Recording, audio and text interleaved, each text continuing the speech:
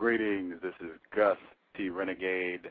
Uh, we're having another episode of The Cows, uh, looking to get constructive information uh, to combat the system of racism. I want to thank everyone for tuning in to another broadcast. Uh, again, I hope the programs are constructive.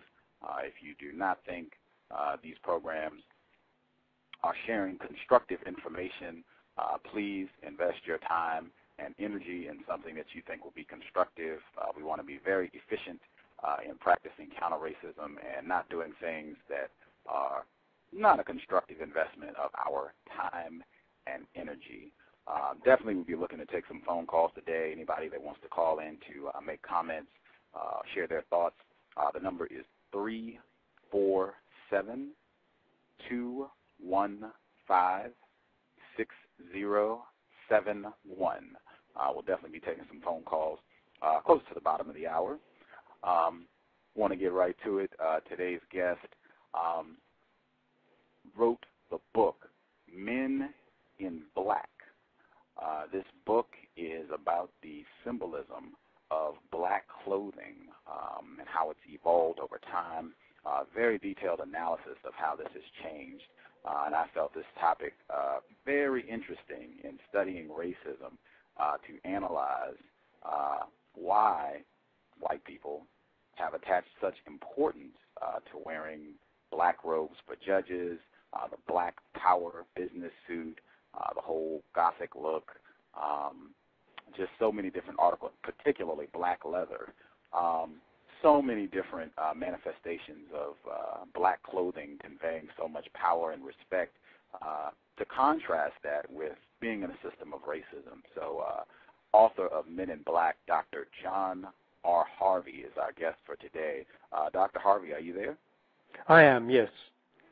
Outstanding. I want to again thank you for taking time to uh, call in and uh, share your views with our listeners. I really appreciate it, sir. Um, would you uh, tell our listeners uh, anything you'd like them to know about yourself, uh, your academic background, other books that you've written, anything you'd like to share with us? My academic background is that I teach English literature at Cambridge University uh, in England. Uh, I've also written, I've worked on the novel and on visual art. I've also written novels, and one of my novels, Coup d'etat, about Greek, the Greek dictatorship, came out in the States but I'm afraid uh, 10 or 15 years ago now. Um, but I, I, otherwise, I'm interested in visual things, and I became interested in black from my 19th century teaching, where I was talking about all sorts of other things, but often with slides, and noticed that almost always the men in the pictures were wearing black, and that led me to look into the whole question of black fashions, the fashionableness of black. Hmm, very interesting. Um, I also wanted to check. You have a PhD in English. Is that correct? That's right. Yes. Okay. Um, I am not very skilled at anything, and certainly not uh, in the use of the English language. But I have a great respect for words, and I really it is it is a privilege and an honor anytime I get the opportunity to speak uh, to someone who has a doctorate in English. Um, would it be okay if I asked you just a few basic questions about language and, and the use of words before we get into your book? Please, Gus, yes. Okay. Um, I do a lot of, all of my radio shows are focused on racism, but I do uh, a lot of discussions. Uh, and in dealing with this subject matter, uh, a problem that I have observed consistently is that people do not have a high regard for words and particularly for the importance of having clear definitions attached to the words that are used, especially when talking about racism. Um, just in the past week, uh, I was at a meeting. Uh, it's an organiza- a student organization uh, that's focused on addressing issues of racism. And someone in attendance asked, well, what's your definition for racism? And the people in the group said, well, we don't have a definition. And they did not grasp what an error that you know they were making in naming this group. They had the term racism in the name of the organization, but they did not have a definition for the term. Um, as a doctorate in English or having a PhD in English, uh, could you share with our listeners just the importance of having clear definitions attached to words if you're going to have clear and effective communication? I think it's clear that words need to be used with a sense of all that all it is that they are saying. Uh, the complication, I think, is that people often want to load what they say uh, so as to bring about one purpose or another purpose. And even children will say what they feel will bring about what they want, and they quite easily, children, I mean, little children quite easily lie. They don't. They just think they're using the words that they uh, that will bring about what they want.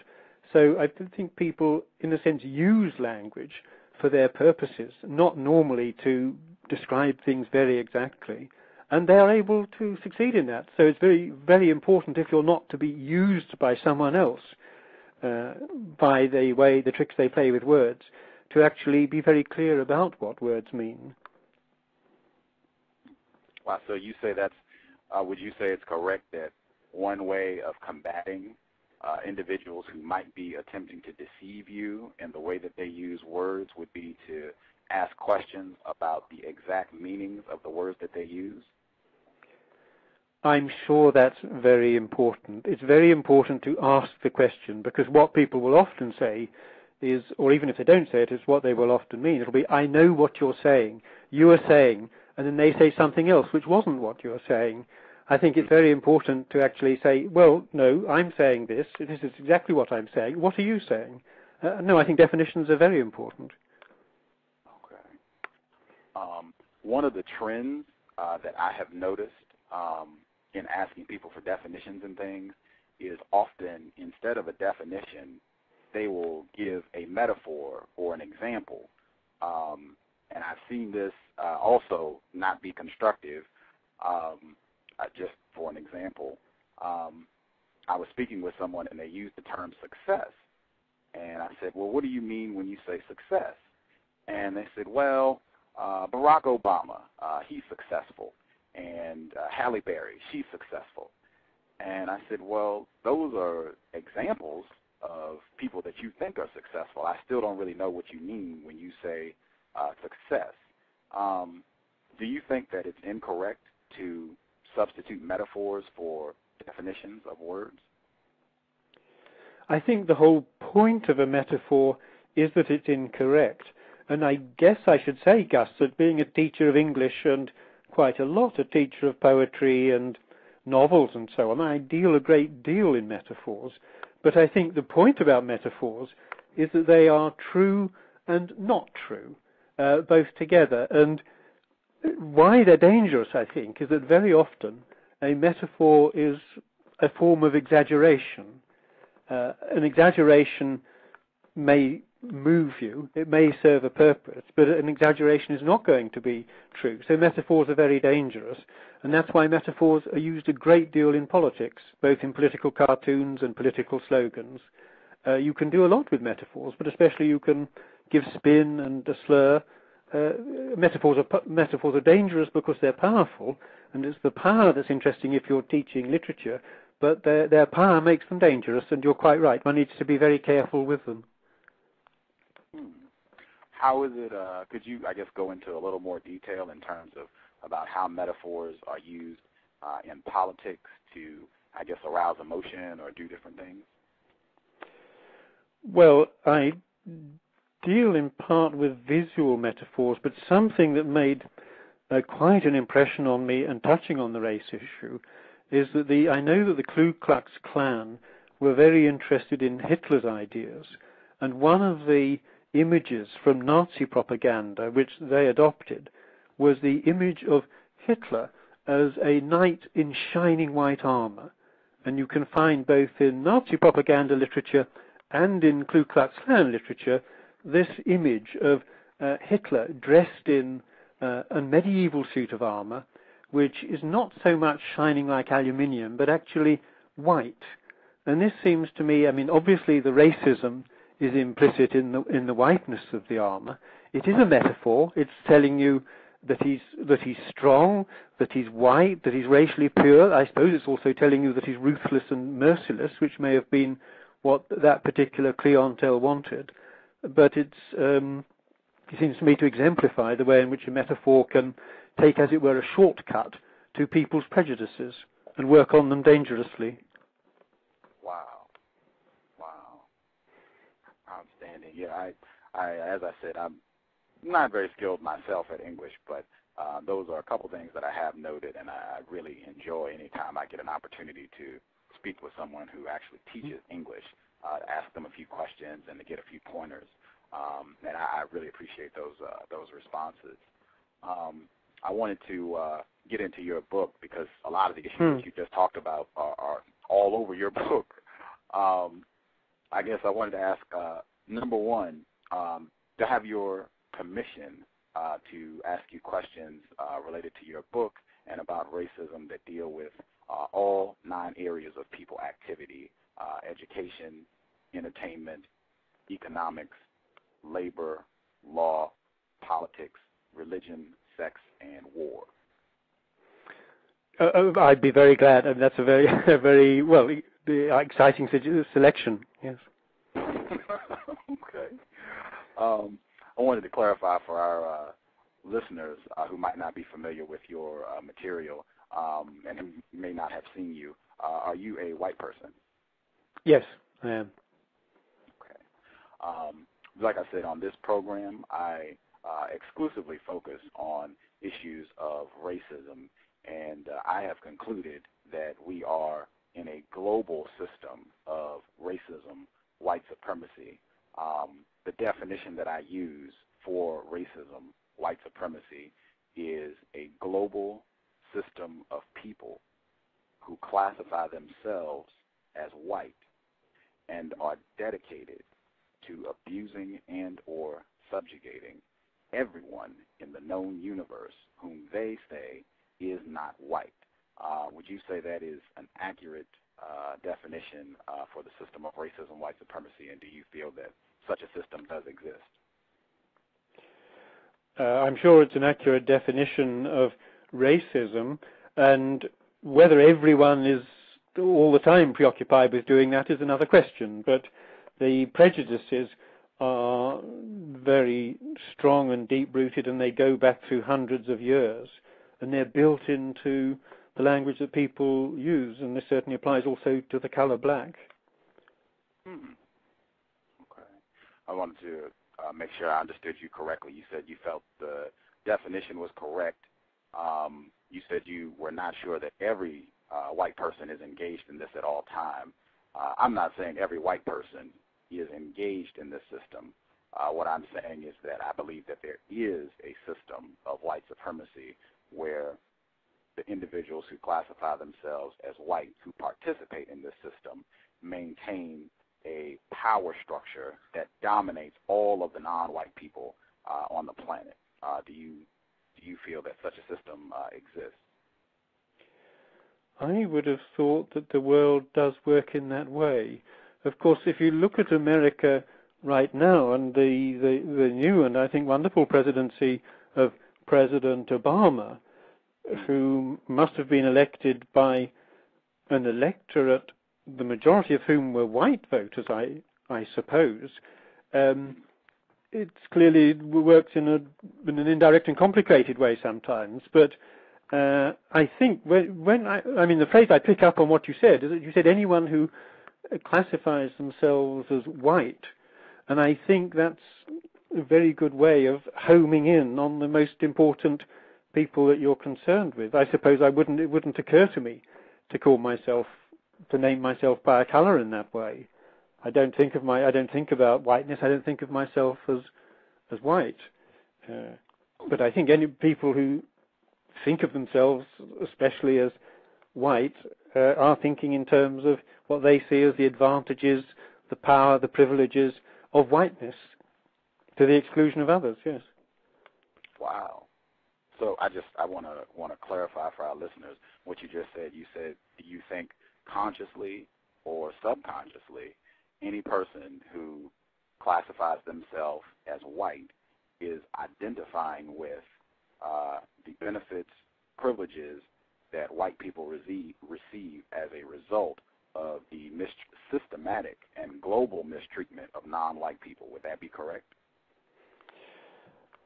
Uh, I would say so. Yes, the people who classify themselves as white uh, uh, are celebrating advantages. They would identify whiteness with advantage. I can't see them identifying themselves with disadvantage. Hmm. Wow.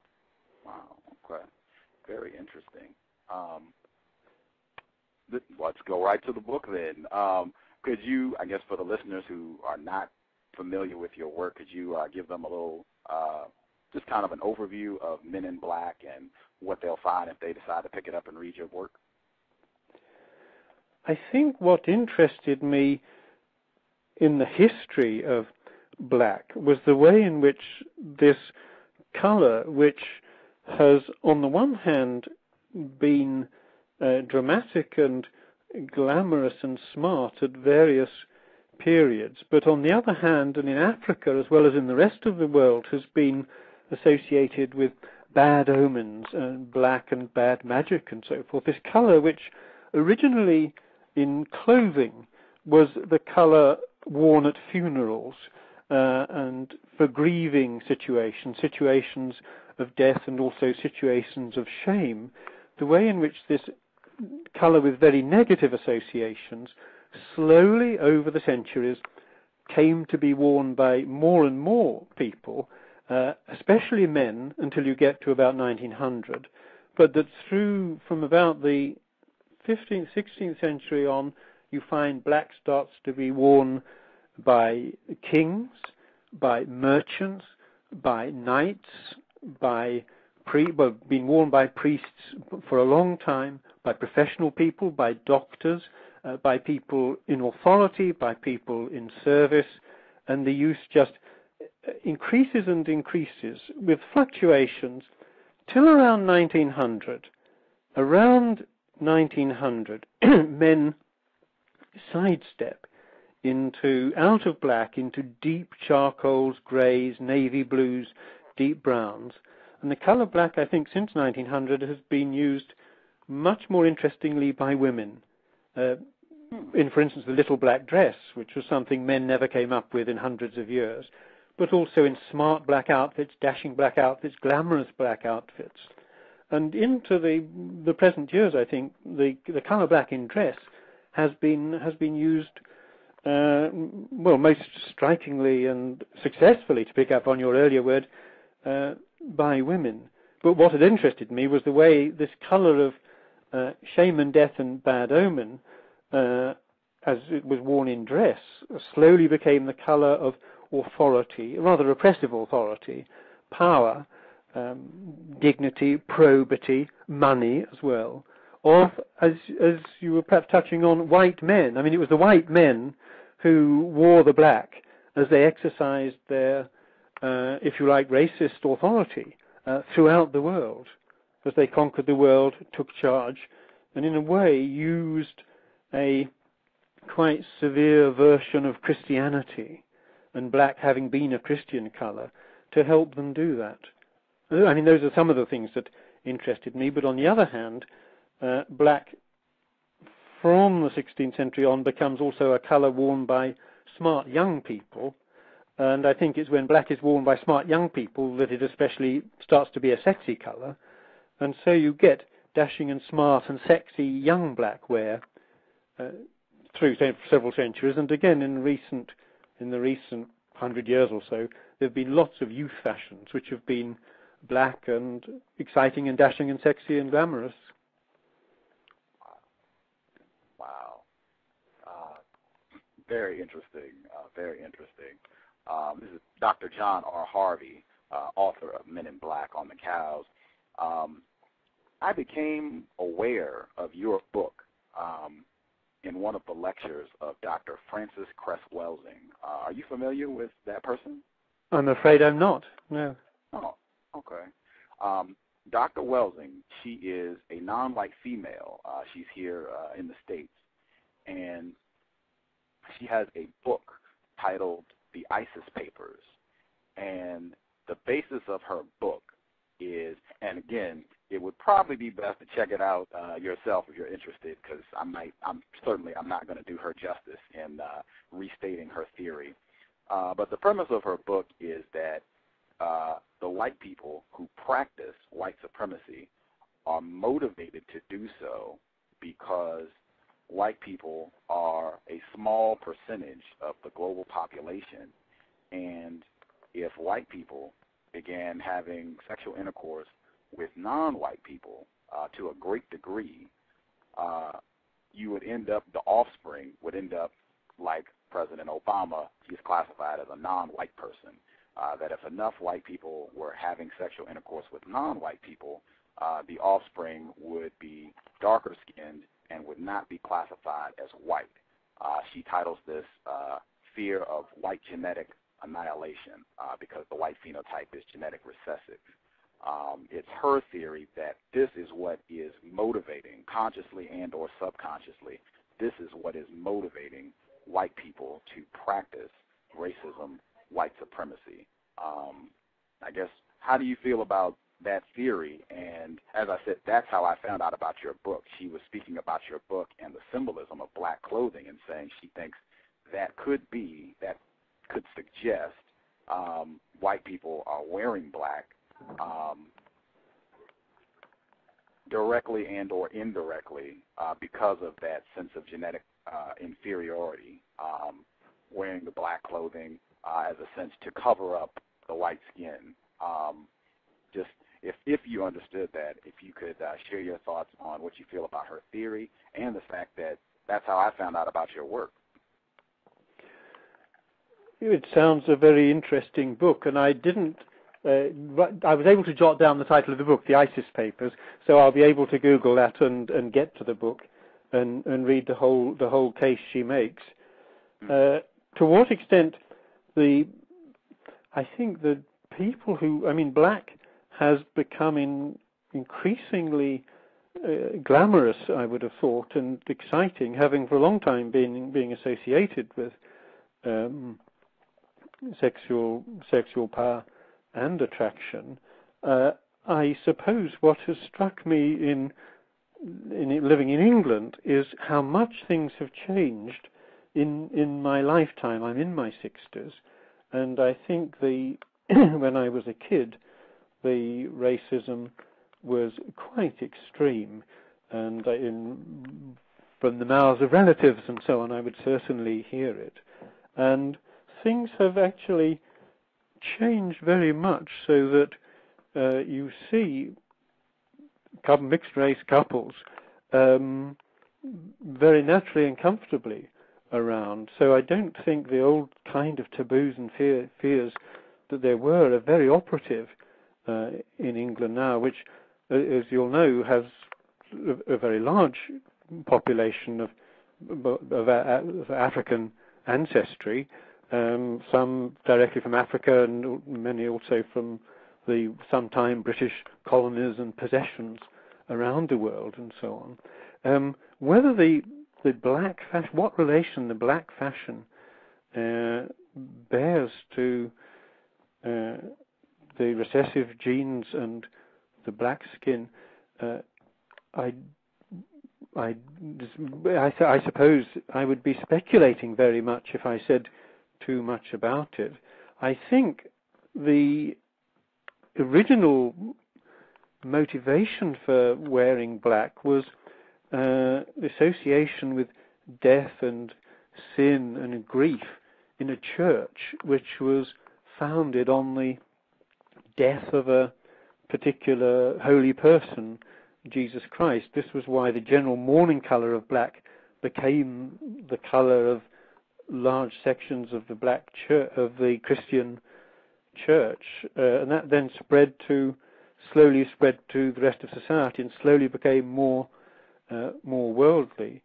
What is true is that the black fashion develops in Europe at the same time that the explorations are uncovering more of the world, and you could say are uncovering more of the different races of the world and encountering um, people of people of various colours of skin. Uh, another interesting point is that the black fashion, which is very dominant in the 16th and 17th centuries, recedes during the 18th century, which is the high point of the slave trade.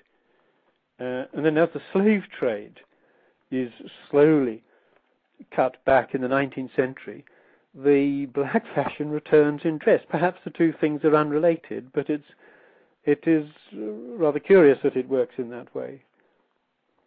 Hmm. Very interesting. I wanted to highlight um, just to make sure that I understood you correctly. Um, did you say that black fashion uh, evolved and expanded among white people uh, as white people came into contact with more non-white people uh, throughout the world. Is that correct? Well, those two things were happening at the same time, certainly. The, it was as the Europeans, as the Europeans were expanding throughout the world, that was the time when they were encountering more more different racial groups, and this was also the time when the black fashion um, was expanding in Europe. But certainly, those things were happening at the same time. Hmm. Very interesting. Very interesting. Um, I wanted to uh, get you to share your views. Um, you said a little bit earlier that uh, black has an association with uh, being sexually attractive and a, and a sexual potency. Um, you started your book uh, with a quote from uh, Quentin Tarantino, uh, one of his films, I believe, Reservoir Dogs. Um, in another Quentin Tarantino film, Pulp Fiction, um, there is a scene uh, where a white man uh, sodomizes a black male, and there is another white man in all leather, all black leather, uh, from head to toe. His, his head is even covered in uh, black leather. Um, could you talk about this? I don't know if you've seen Pulp Fiction, but yes, I have. Yes, I liked it very oh, much. Okay. Yes. Okay, okay. Um, if if you're aware of the scene that I'm talking about, I guess did you share your thoughts on uh, the the symbolism of the black leather in that scene of uh, I guess that would be an S and M scene, a scene of uh, sadomasochism. Uh, sure. I think uh, black has certainly been used in clothes as a a, a frightening color, as a frightener, partly picking up on the associations of uh, black with the grave, of black with death, black with grief. Um, but also, I suppose, if one thinks of fear as a, as a dark thing, uh, I think in the Christian church, the first people to wear black were monks who stayed in their monasteries. They weren't trying to frighten people; they were be, they were grieving. But then the Dominican friars, the black friars, uh, went out through the world evangelizing, but also persecuting and burning heretics, and became one of the orders that staffed the Inquisition and I think they were aware of their uh, that their black was frightening. In Russia, Ivan the Terrible had a kind of secret police which would go around uh, attacking, killing uh, aristocrats who disagreed with the Tsar and other people too. The, they were called the oprichniki, the men apart. He made them dress in black because it was more terrifying, and he said so. And Himmler, in the Nazi, in founding the Nazi SS, again made them dress in black because it was uh, frightening, terrifying. He, uh, he said that. So uh, it, it is a color of fear and power and cruelty when worn in a certain way. So it's not surprising that sadists and masochists pick up on that. And I suppose if you want to make if you want to be, if you're inflicting cruelty on another person with sexual excitement, black, then especially if it's black leather with associations of violence, and I guess black leather coats may have come in again uh, with the with the Third Reich. Um, it's not surprising if sadists wear uh, black like to wear black leather when they're pursuing a kind of sexual cruelty, or if masochists again are especially turned on or excited if the person who they want to persecute them deliciously is is wearing black leather. And of course, all of that is an utterly different dimension from the actual experience of colored people when they are victims of various forms of oppression, including sexual oppression. Uh, I found uh, in your book uh, when you spoke about black leather. Um, I'm, I'm, reading from page uh, 245. Hmm. Um, hmm. You were talking about black black leather, and you said it is raw, a way of wearing on top of your clothes what is normally underneath. skin, except that it is not so much skin as hide, but then it is stripped hide, hairless, naked. Also, it is dead hide, the more dead or deadly because stained black. Uh, this nakedness with deadness, together with its with its animal associations, allows it to transmit its meaning intensely, which can be sinister and violent. Uh, and if black leather was for a time a police uniform, uh, it has also become the standard youth uniform, uh, a means of putting on toughness in readiness to hit the street. Um, just from that passage and other places in your book, it again um, made me think of white genetic annihilation and a sense of putting on a toughness, putting on black skin, as it were, uh, with black leather. Um, do you do you think that's a that's a logical connection to make there? I think it must be. It's a it's it's a hadn't my had my own thought hadn't quite gone as far as that, but I think you're right, Gus. I think that's a that's a good connection to make. And I think the putting on of black for strength um, goes back quite a long way. That knights in armor in the Middle Ages you see suits of armor in museums now, and they look like aluminium or something. They're all sort of polished, shining, silvery metal. But they were actually metal rusts, of course, and especially if you're going around battlefields. So very often the armor was painted, and very often it was painted black, uh, with a sort of black black lacquer. I mean, in a way, the knights in armor are a sort of early version of, I don't know, black Ford cars or something. The men were uh, striding around the battlefields in painted armor, which was very often black armor, and that must have both been frightening to the other side and also perhaps helped them to feel stronger. Wow. Wow, very interesting. Very interesting. Um, again, uh, in, in your book, um, just to touch on the sexual thing, um, on uh, on page 36 of your book, and in other spots as well. I just noted hmm. page 36. Um, you said that, uh, and we've talked about it to some degree in this conversation, that uh, there is a, a sexual potency to black. Um, frequently, um, people talk uh, in dichotomous terms of black and white. Uh, if black uh, is been endowed, if white people feel that uh, the color black and black leather has this sexual power uh, implicitly? Are they saying that there is something not sexual about white?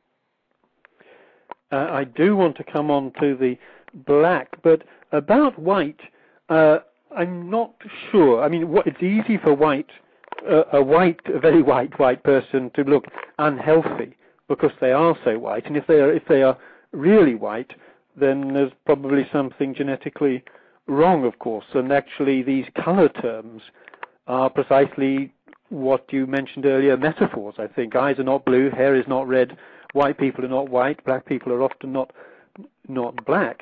But as to the sexiness of white, uh, in a way you're right, but if you think of a fairy tale like Snow White, why Snow White is so beautiful that the wicked queen uh, even her own mirror tells her that she's not as beautiful as Snow White.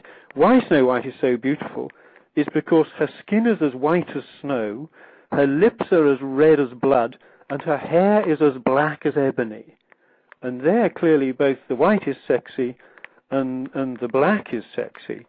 But about sexy black, I think one point to make is that it wasn't invented by people, uh, that it was invented by the animal kingdom that real glossy or lustrous jet black uh, is something which comes into existence, well, in our universe anyway, uh, really with animals that uh, I mean, maybe outer space is black, but uh, minerals, elements, normally not black. Things which are black, jet black or glossy black, like uh, uh, onyx or the stone jet or coal, of course, they're normally organic compounds. They're basically vegetable matter that has over hundreds of years become hard and black. The real jet black really is something which the animal kingdom developed. Uh, one thinks of black panthers or blackbirds, I suppose, but other animals like penguins, various beetles, all sorts of animals have uh, an intense black colour, either entirely or over part of them. And it does seem that this has developed especially through sexual selection. And that was what Darwin thought, and his first book, which was about natural selection, simply the strongest person survives. His second, not his second book, but I mean another famous book of his, The Descent of Man, is about the effect of uh, sexual selection on uh, creatures and the look of creatures. And this, inclu- this includes observing that in various creatures, the intense glossy blackness of often the males, but not always the males, does seem to have developed from a kind of original brown colour through sexual selection. So I think it's that, that sort of sexy black in that way is something which precedes the development of human beings. That it's not surprising if it, it, arises with human beings too. And just one other thing to say, uh, Gus, if I may, is that I think people who've gone inside the eye and the way the eye works find that there are two sorts of cell inside the eye. The one is called the cones, which seems sees colours like red, green, and blue. The others are called the rods, which basically see light and dark. And people used to assume that the rods uh, responded to light and sent their electrical discharge back to the brain whenever they saw uh, something bright. But actually, it does now seem that what the rods respond to is darkness and black. It's when the rods in the retina of the eye see something which is very uh, dark or jet black. That's especially when they send their electrical discharge back to the brain. So this means that although black is in a sense a no colour, it's also a very intense colour and one which we really, the eye jumps to and which we notice easily and quickly and in a way positively. And so I think it's no surprise if it's uh, if it also works strongly as a, a sexy colour in in in clothes as in skin. Fascinating, fascinating. Again, this is uh, Dr. John R. Harvey, author of Men in Black, uh, The Cows, uh, Gus T. Renegade. Um, uh, and again, I want to make sure I let the folks who are listening in know uh, you can call in 347 215 6071. I will be uh, checking out the phone lines in a little bit. Um, your book, interestingly, Men in Black, and you uh, made a point of saying that you, you focused on white men uh, wearing black clothing. Um, again, metaphors, uh, and really trying to pay close attention to words and phrases. Um, Dr. Welsing points this out consistently uh, in her talks um, that you know it is a popular phrase um, that white people say, uh, white females say that their desirable mate would be tall, dark, and handsome. Um, it is also uh, said frequently that uh, clothes make the man. Um, just from what you touched on earlier about uh, using black clothing to convey a sense of, of authority and uh, glamour and, and power in different senses, um, it seems to suggest that particularly with white men, black clothing uh, is, I would say, almost necessary uh, to convey a certain sense of masculinity. Um, yeah, I mean, if you look at you know judges' robes, priests, uh, the the black business suit. Um, does that seem like a logical connection to make uh, based on the material uh, in your book and what you just observed? It, the, yes, it has come. It has come to be like that. Um, I mean, the world wasn't like that. If you go back to ancient times or ancient Greece or ancient Rome, Um, they had, I mean, they wore black at funerals, and they also had smart black in their home decorations. That they had black pottery.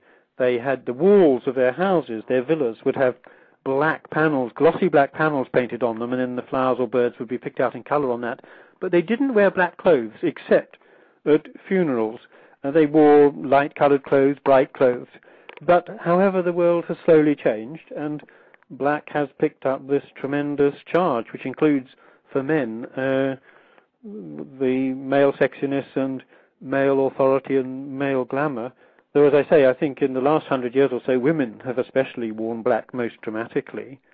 I think tall, dark, and handsome uh, means, on the one hand, it's like Snow White's hair, which is ebony, and that's that's part of her beautiful. It, that her hair is jet black. That's why Snow White is so beautiful. She's not a Barbie. Um, but tall, dark, and handsome for white men, I think, refers partly not only to dark clothes but to black hair and or, uh, very, very black hair as far as the men are concerned. The other point about men, I think, is that whereas it was uh, in the white races, it was really the, the women who were white I mean, the women were kept indoors all the time. They didn't let the sun touch their skin.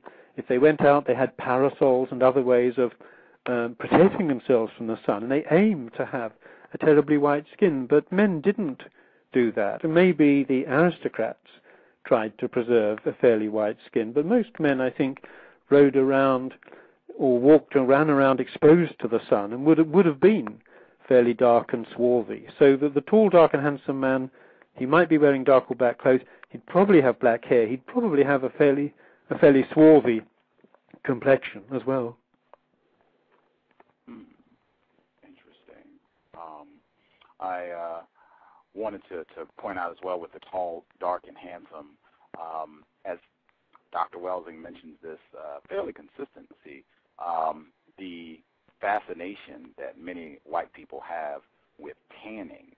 Um, and I guess I would ask, do you see an association uh, between tanning and uh, white people tanning to darken their skin uh, and this tall, dark, and handsome, and this association with black being a sexy thing, getting a tan?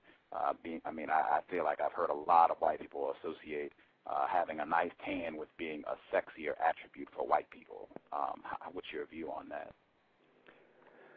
I'm sh- well. I've I've tanned myself, and I've hoped I was improving. Uh, my my wife is Greek, and we spend our summers in Greece, and I've certainly we we both have, but I've certainly uh, sort of lain in the sun in hopes of being browner than I browner than I naturally am in England, as it were, and I've thought of that as a, as an improvement. Uh, I think people have thought until I started to get worried about skin cancer and so on. I think people have, uh, yes, have have sought a darker skin uh, uh, in the last well 60 or 70 years in a way that earlier they they didn't. I think people tried to keep themselves partly because of course people were not uh, were not so clean in earlier times, so they would have not been for various reasons they would not have been white. They didn't wash so often and so on. Um, but I think the the idea of exposing yourself to the sun in all in order to get a a, a, darker skin has come in in the last hundred years, especially, um, and has gone with um, a general well a general association of sexiness with with uh, with darker things and darker skin. Hmm. Very interesting. Very interesting. Um, actually, I should have mentioned this earlier, but it, it definitely uh, is related. Um, you touch on it in your book, um, specifically on page uh, 102, but um, a white person, actually an admitted uh, racist, white supremacist, uh, David Allen, uh, he is a professor at the University of Washington. Um, he said that we speak the language of white supremacy. Um, you touch on that in your book. Um, I wanted to ask uh, if you believe that is a correct statement to say that, that we speak the language of white supremacy, and if you do believe that that is true, if you could, uh, I guess, share your thoughts uh, and evidence as to that would suggest that that is a true statement. Uh, but the, the, the only thing is, Gus, I'm not sure. Uh, I mean, the, English language, for instance, is used by white supremacists, but not only by white supremacists. Uh, I'm, i mean, I, I, there I'd ask for your definition, as it were, of what, what sorts of language you're, you're meaning, or what sorts of language he's meaning. There is a whole prejudicial language of white supremacy, which uh, certainly was very common throughout Europe, which meant that people would um, just automatically think of, of uh, the devil as black and so on. That language has diminished to quite an extent. Uh, there are white supremacists who use a, a, vicious language and vicious metaphors, but I, I, think I'd have to ask for a bit more definition about what what bits of language you're you're most thinking of. Um, the discussion I had with uh, Mr. Allen, um, number one, he was specifically talking about English, um, and he was saying that the way words are used, definitions that are attached to certain words, um, the implications that certain words have, all works to support the system of white supremacy, whether it be uh, phrases like "it was a dark day," uh, "a dark horse," "a white lie," um, "black market," different phrases like mm. that, um, more yes. overt things and more uh, implicit things that the entire language. Uh, again, we were speaking specifically about English, but I know uh, I'm not able to speak French, but I know some of the French uh, phrases and things, and I know uh, bête noire means black beast in yes. French, and that is uh, a pet peeve. So I would say I see evidence that this could be in a lot of other languages other than the language known as English. But that's specifically what we were talking about. Does that uh, does that add clarification? And yes, I'm, and I'm sure that the the the the use of the word black carries all sorts of uh, derogatory implications, if you like, of which assume a, a white supremacy. That and this is built into all sorts of traditional expressions and metaphors. Um, all of the language isn't like that, and uh, I'm just thinking that the English language has spread over the world so that uh, the English language is now the language that I suppose is most widely spoken in the Indian subcontinent, partly because otherwise there are various other languages there. But I don't, I don't know that one would say that the English that is spoken both in Pakistan and in India is the English of white supremacy, though they probably have got all these metaphors with the word black in them, uh, which may be still current and may still be a bit keeping going the old derogatory associations of the word black. But I don't think you could say that the English language in India is the language of white supremacy. It was the language of white supremacy. It was the language of the English when the English were uh, grinding grinding the uh, the Indians down. But the English have gone, but the language has stayed. And I don't think you could simply say now that the English language of India is the language of white supremacy. Hmm. Hmm. You uh, please correct me if I'm if I'm uh, misquoting you. You said you feel that uh, this uh, embed the uh, subtle nature of white supremacy being present in the language, uh, the language being structured to support white supremacy. You said you feel that that is um, diminishing. Is that correct? Well, I think it must have diminished in in those countries where where which where where the language may be there because the English were there, or or, or the Americans, but the but now the English have gone, where the language has stayed in use, its character must have changed, don't you think, Gus? Uh, I mean, there are various African countries where the English language has stayed stayed current.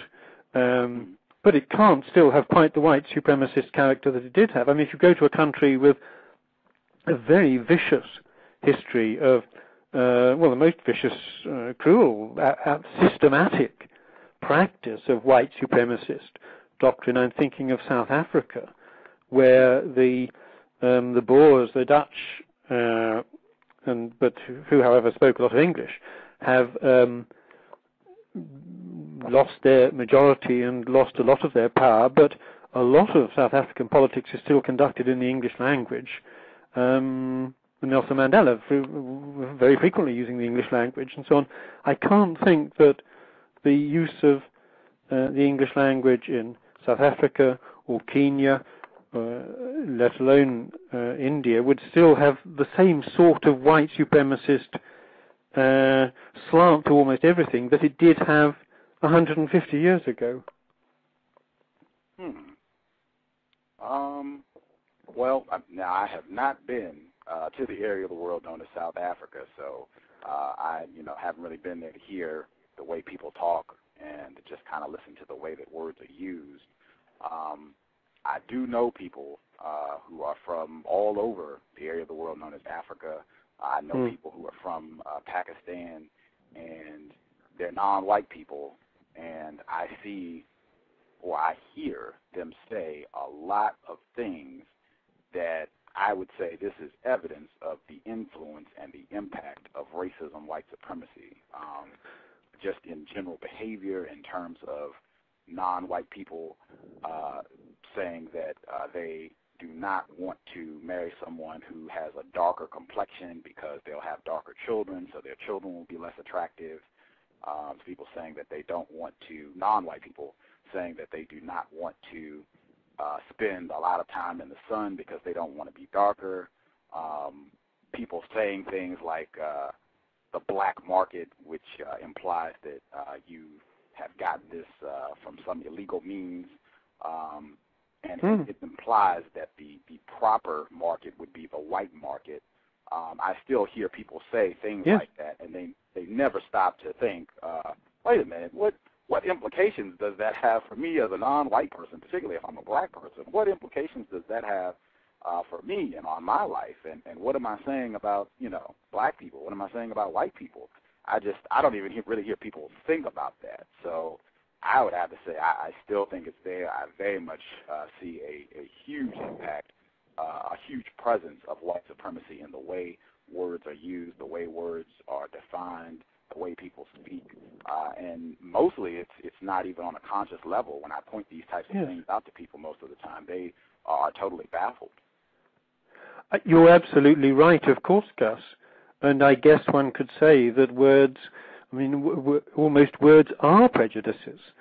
That it's awfully hard to, uh, you have to use a language to speak to other people, otherwise they don't, you know, people don't understand each other. But languages uh, develop very, very, very slowly, and they are they, they are expressions of feeling and prejudice, and in a sense, words are prejudices. So the language, I, you could say, I'm sure that any language is is just thick with layers of new and old prejudice, and this would certainly include racial prejudice, and you could certainly also find racial prejudice in uh, in those countries, and I certainly know that uh, you can find it in India that the concern of Indians, not necessarily influenced by English people, the concern of uh, upper caste Indians not to have the kind of very dark skin which they associate with lower caste Indians, I think is something which was present in the Indian subcontinent before ever the English got there, then the English language has probably lent itself rather easily to articulating those prejudices. The world, uh, the world is full of prejudice and full of racial prejudice. I, I do agree. Hmm. Wow, very, very, very interesting. Uh, as as an English, uh, as a as a doctorate with a doctorate in English, uh, do you have suggestions on ways people can combat and uh, work against the way uh, language is used to support racism, white supremacy? Do you have some suggestions on how uh, things people could do that would work against that and, and try to root that uh, level of white supremacy out of the way language is used? I don't think you can do it. I mean, uh, hopefully with education and so on, people would want to do it less. But I think the most important thing as you were saying, you ask people to define things, to say exactly what they mean. I'd have thought it's terribly important to catch those phrases, blacklisting, uh, dark horses, whatever it may be, to catch those phrases when you hear them and just perhaps make a little point about them or find some way of turning them round, changing it. Uh, I'd have thought it's it has to be done on a local level, and that.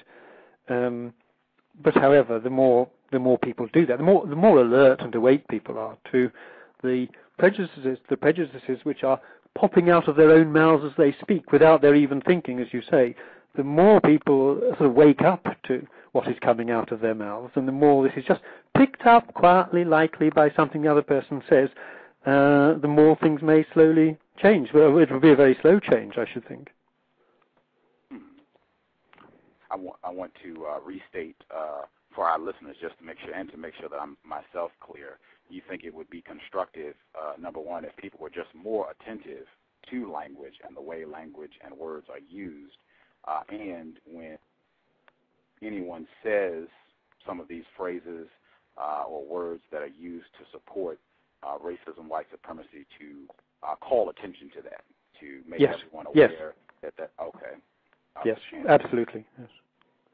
Um, one of uh, I think one of the uh, books that is most symbolic of racism, white supremacy, uh, Conrad's Joseph Conrad's The Heart of Darkness.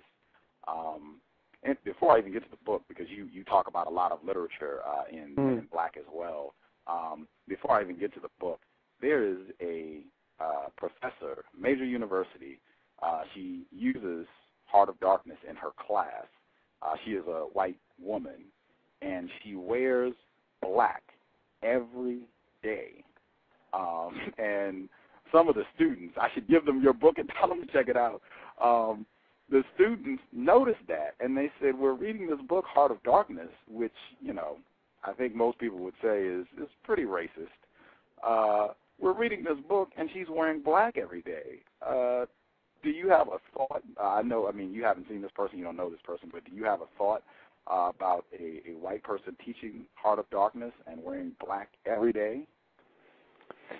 Well, there's a there's a nice irony there she's probably wearing black because it's professional and it's smart because of all the values that it acquired in its use by men. Uh, she's probably wearing it to pick up on those. She may also be wearing it because it's uh, a slimming color. You look slimmer in black. Um, she may, if she has jewelry, she may be wearing it to set off the jewelry. But, however, the the effect is, as you say, well, it's ironic, as you as you say, Gus. I mean, it's, it, it would be very nice if one of her students pointed that out or asked her her thoughts about it. I, I'm curious myself to ask, um, and particularly uh, this professor in teaching uh, Heart of White, uh, Heart of Darkness, excuse me. Um, mm. She made a point of saying she did not want any students to write essays or papers on the heart of darkness and doing uh, any sort of symbolic comparison to black and white. And I heard that and I said, my gosh, I don't know if you can talk about the heart of darkness uh, in a correct manner if you don't point out the uh, overwhelming symbolism of black, black and white uh, in that book. Um, do you think that's correct, or do you think it's possible to talk about uh, the heart of darkness in a, in a correct manner without talking about the racism that's in it and, and the symbolism of black and white? I mean, I like Conrad as an author, but that that book, that story, he is a, has a very deep-rooted racism in it, and that must have been in Conrad too. And he's the idea that the most primitive and horrifying things could be found in tribal life in Africa. Uh, it's, it's, there's a very intense element of racial racial prejudice there, clearly. I mean, other parts of the, the book, when he's describing the futility of the French warship firing shells into the African jungle uh, with no idea where they're landing and so on, and it's in a way sort of surreal and meaningless. That's a, it's a wonderful description and very good on the sort of vanity and futility of colonialism. But at the heart of it, when you get to Kurtz and the way in which he is supposed to have been corrupted and sort of rotted at the core by his involvement in the tribal life of the, the local village, then it's there's a very profound racism in that, clearly.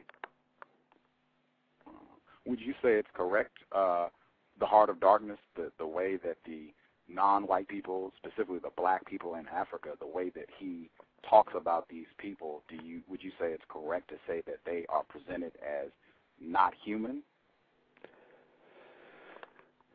Well, you don't you don't really meet the Africans, do you? No one actually. You you you, you never get to know an individual.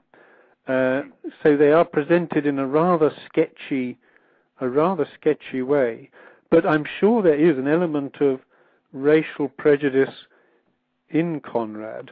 What I'm thinking of is a, another novel of his, which is very famous and which I like very much, called Nostromo, is about Latin America, um, and the, there's a mixed population in this country he calls Costaguana, um, and there, there, there, must be a black component, but there's also a Spanish component and a Native American Indian component.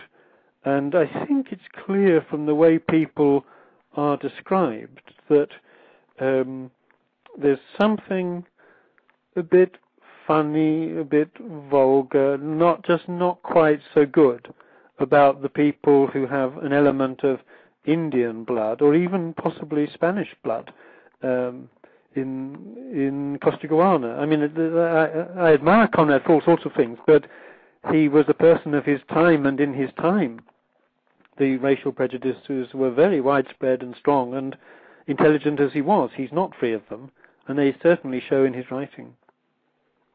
Hmm. Um, I wanted to wanted to make sure, just uh, to be clear, um, would, would you say it's correct uh, or incorrect to say that in particularly Heart of Whiteness, um, that the black people specifically, that they are dehumanized uh, in that work? I guess it would be correct. I mean, they're so sketchy that you can't say they're one thing or another, but they're certainly not presented as the sort of human beings that Europeans are. Mm. They're, they're, certainly not. You Dehumanized, think, uh, you could say. I mean, there's, you, there, you see so little of them. Uh, I mean, there is a, isn't there a description in it? I'm not remembering now of um, uh, some prisoners. Now, are some of the prisoners Africans mm. being led somewhere? Yes, in sir. some sort of shackles or chains. Right. I think I'm not remembering it clearly, but I think there is a description, and I think those people are suffering imprisonment, victims of colonialism. I think they are seen as suffering humans. It's when you get into the heart of darkness, into the tribal communities deep in the jungle, that it becomes, I think, very sketchy. And they certainly are certainly are not full, full believable human beings there. Wow. Wow. Uh, in in some of the discussions around this, uh, around the heart of uh, darkness, um, different individuals are saying they felt that the way white people were talked about in that book, they were uh, spoken of as though they were gods uh, in the book, particularly in contrast to the way that the uh, black people are represented. Do you think that is uh, an accurate comparison? Uh, gods, I think, is putting it too strongly, but the interesting thing is what has happened to the person the story is about, though we don't see much of him, called Kurtz. Because what he's done is to go native and to involve himself in the African tribal life and this horrifies the narrator, and I suppose was meant to horrify readers. Mm. but clearly he has been drawn, Kurtz himself has been drawn to it, fascinated by it, wanted to do it. And the book, the story, does not does not want it. On the one hand, it wants to present the intensity of this of Kurtz's fascination with tribal life as a very powerful thing. At the same time, it doesn't want to ask why Kurtz was so fascinated by tribal life, how involved he got. So there's an uncertainty or ambiguity at the center of it. But within that, there is obviously within Kurtz and possibly somewhere in Conrad a drive or attraction towards uh, African tribal life, which is also profoundly mistrusted. So there are some real divided feelings or divided passions there. Well, that uh, you said uh, going native. I I point that out as another one of those phrases uh, that I think is used uh, to describe someone who is doing something that uh, white people in a system of racism, white supremacy are not supposed to do, particularly doing things that non-white people do.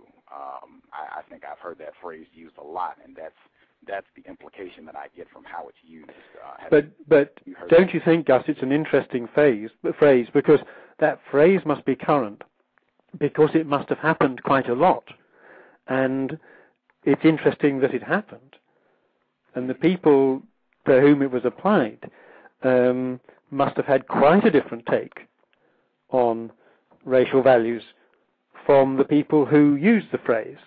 I mean, you know, the phrase point, it's not just a phrase, it points to what a lot of people did, um, which was disapproved of back in England. But the people who did it must have seen things very differently, the people who went native. Mm. Wow. I mean, they went, they, they did so because they wanted to, and they were, they presumably were, were glad that they did the uh, the film the film adaptation of Heart of Darkness, uh, Apocalypse Now, with uh, yes. Marlon Brando and uh, Laurence Fishburne. Yes. Um, I, I think that presents an example of a white person who has gone native, but at least to me, it seems that that white person is still mistreating non-white people and practicing racism. So I don't really see. A, it seems the difference is how are we going to practice racism? Am I going to go and immerse myself amongst the non-white people and practice racism, or am I going to view them as you know completely being abject non-humans that are beneath me, and I'm doing what you know we white people say we're supposed to do, and we're mistreating them that way? Um, I still see whether the white person has gone native or not, they're still mistreating people who are not white.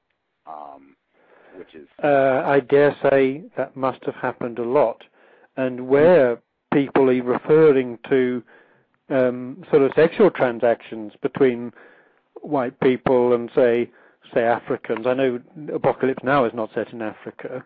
Um, there may have been a lot of bad bad sexual politics going with bad colonial politics in in what happened.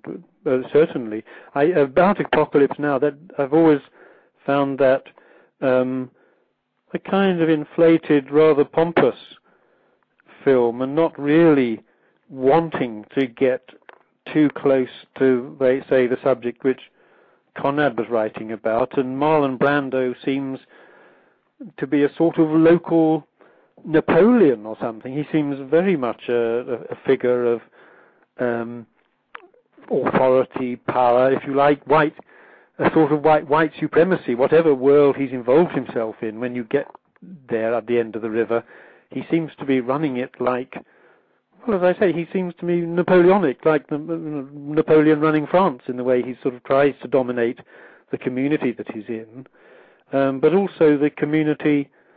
Uh, when you get there, they are they're not actually very dark, are they? And they're are they are they a bit albino or covered in white paint or something? I mean, I mean, it struck me that it's the the world, the the dark world you get to at the end of Apocalypse Now is is not so dark at all, and is terribly unconvincing, and I'm sure full of um, I don't prejudices which probably were saleable at the time, but it didn't.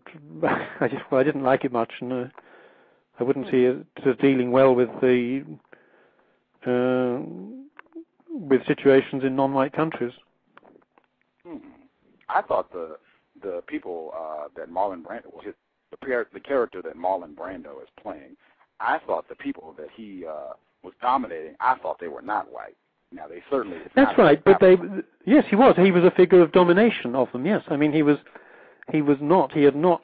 I mean the implication I think in Conrad is that Kurtz has involved himself sexually and in in other ways with the the local tribal community, but he doesn't seem to be in charge of the local tribal community. He doesn't seem to be running it. Whereas Marlon Brando had somehow, whatever the forest dwelling community was there, that Marlon Brando had somehow taken control.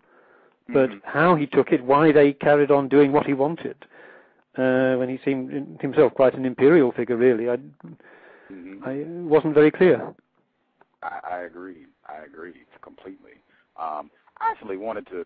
You said you you really liked the Pulp Fiction. I that's a fascinating film. I just wanted to take a couple minutes to ask you if you could hmm. share some of your thoughts and what you enjoyed about Pulp Fiction really quick before I hop back to your book. Uh, I I suppose I liked the uh, the humor of it. I liked the the irony. I liked the way it played with its story, moving back and forth. I I liked the language. Um, I like the way one of the characters, who I think has been a hood and shooting people and so on, says at a certain point, "I'm going to walk the earth," uh, and it's picking up on, I suppose, a biblical phrase. Uh, and I just thought it was full of nice, nice, good, good touches, and it was. I think I feel that it's a bit sad for Tarantino that he's had to resort to um, terribly extreme, violent things to really get it together to, to make another film when Pulp Fiction, that had scenes of it was about criminals and had atrocious scenes in it, actually also had a lot of light, light, good humor and surprise in it. Hmm. Wow. Um, this the uh, Pulp Fiction is is presented in uh, vignettes uh, it's like three different uh, vignettes. Did you have a favorite of the of the scenes uh, in Pulp Fiction? Um, I suppose the scene I liked best was uh, when the uh, young couple that have been in the diner preparing to stage a robbery finally get on and do their robbery and don't realize that one of the men they're trying to rob, who is an African American, has is actually a successful gangster and has got his gun under the table um, uh, and is in a very good situation to turn the tables on them. And I suppose I found that whole scene um, dramatic and amusing and uh, and that particular character, uh, I suppose I like especially much in the film. Hmm. Wow. I I uh, I talk about Pulp Fiction uh, frequently. Um, that used to be uh, one of my favorite films, um, and I, that's one of the few films that, or one of the few things, period, that I feel able to competently uh, discourse on. Um, that film, would you say that that film uh, has a lot of elements of racism, white supremacy? You would know more. I mean, I don't it's a long time since I saw it now, Gus, and I, you know it much better. I would have thought it's playing with those, it's aware of those things. Um, to what extent it's working in a white supremacist uh, cause, I don't know. As I say, this the person that I, the character in it that I like the best was this. Um, was it an early role of Samuel Johnson or someone else? I'm not sure. The the the African American uh, right. gangster. Sorry. Jules. I'm sorry. His name is Jules. Jules.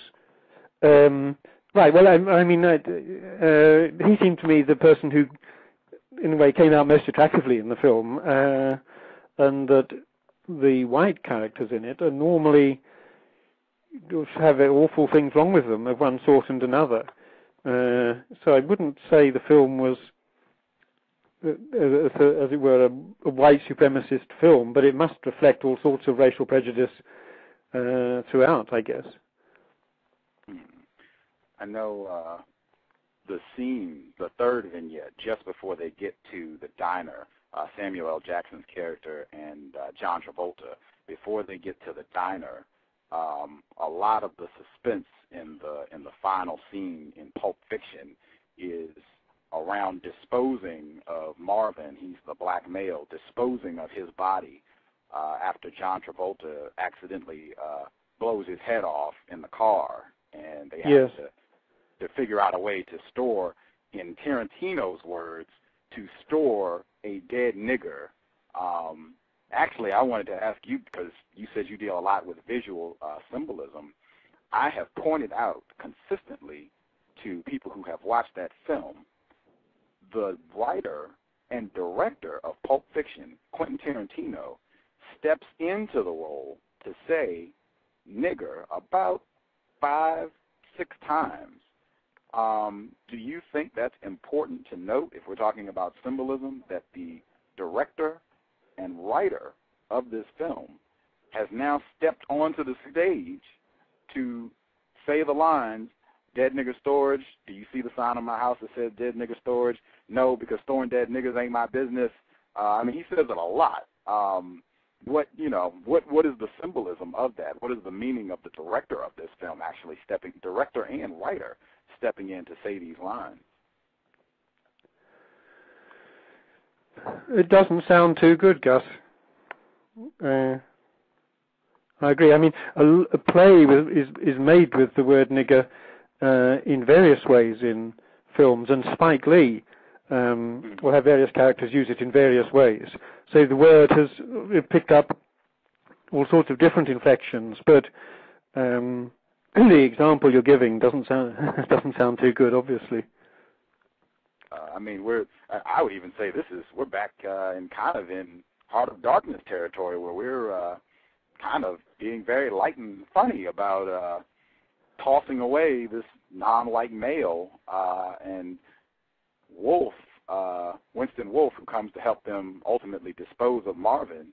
Uh, hmm. They take him to a junkyard and put him in the trunk of a car in a junkyard, and uh, he says nobody who will be missed, and they you know go off to the diner to have breakfast.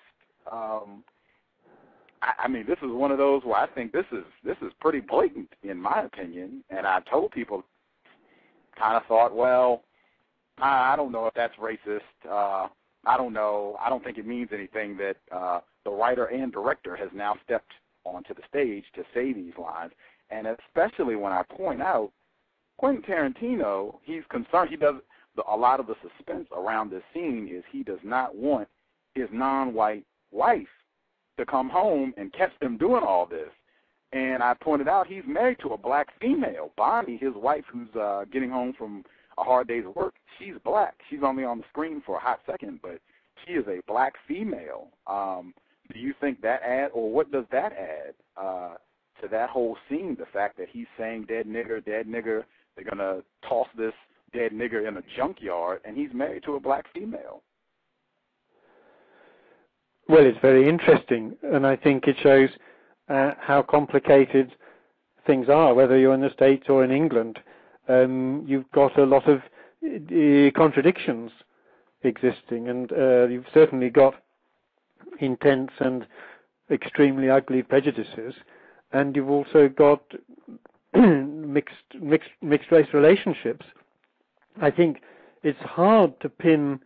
I guess it's hard to pin writers and directors down to single positions if they're any good, because they all they don't stay in one place.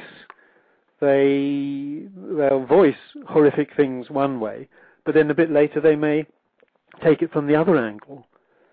In a way, they, they I mean, in a way, I think um, it's in books and in films and anything that's in the arts which is good. You want surprise. You want the thing to be surprising all the time, not predictable, not boring. And the good or talented author or filmmaker will be wanting to have surprising takes and turns. So they'll say one thing in one scene, but they'll probably want to make sure they say something different in another scene, and they may be, in a way, irresponsible about some of the things they say, but not worrying about it because they'll say something else at another time. I mean, I think works of art and literature and films are ambiguous and also sometimes dangerous quantities because of that. But at the same time, you need for a work of art to be surprising. You don't want it to just tell you what you already know. Hmm. Well, I, I, uh, and I, I could be incorrect. I found the uh, racism fairly consistent, uh, fairly uh, persistent, and and pretty blatant uh, throughout Pulp Fiction. Um, the fact that Tarantino's wife uh, is a black female that there was nothing redeeming about that for me. That just made the scene uh, even more racist and white supremacist for me. Well, I think, um, but that scene is like that, Gus. I, I think you're right. I agree with you. But you also said you had liked the film very much, and it's it is a film with with good features as well as horrific features. I mean, it has some very horrific things in it. Oh yeah, oh yeah. I loved the film before. This is what I tell people: before I became aware of racism, white supremacy, before I had an understanding, and before I was really paying attention to words and just trying to make sense of the things that I come in contact with on a regular basis. I love the film. I never thought twice about uh, the scene where they say dead nigger 20 times. I never thought twice about Tarantino actually being the writer and director of this film, stepping in, and mm. what significance mm. does that convey? I never thought about the black male, uh, Ving Rhames, his character who is uh, anally raped by the white police officer who is also using the word nigger. I never thought, wait a minute, this looks like it could be racist. It never entered my mind. It was just, wow, this is just a fun, exciting film, and you know, it's it's got the discontinuity of time. I just, it was regular old entertainment for me. I never, never even thought twice, and I watched it a lot. I watched, I've seen Pulp Fiction at least 30 times. That's why I, mm. I said this is one of the few things I feel confident talking about because I've seen this film a lot, and I've watched it even a few more times since I've become more aware of racism, white supremacy, to really pay attention to things. And uh, I'm I'm actually writing a film review of Pulp Fiction. Uh, it'll be on my blog uh, very soon.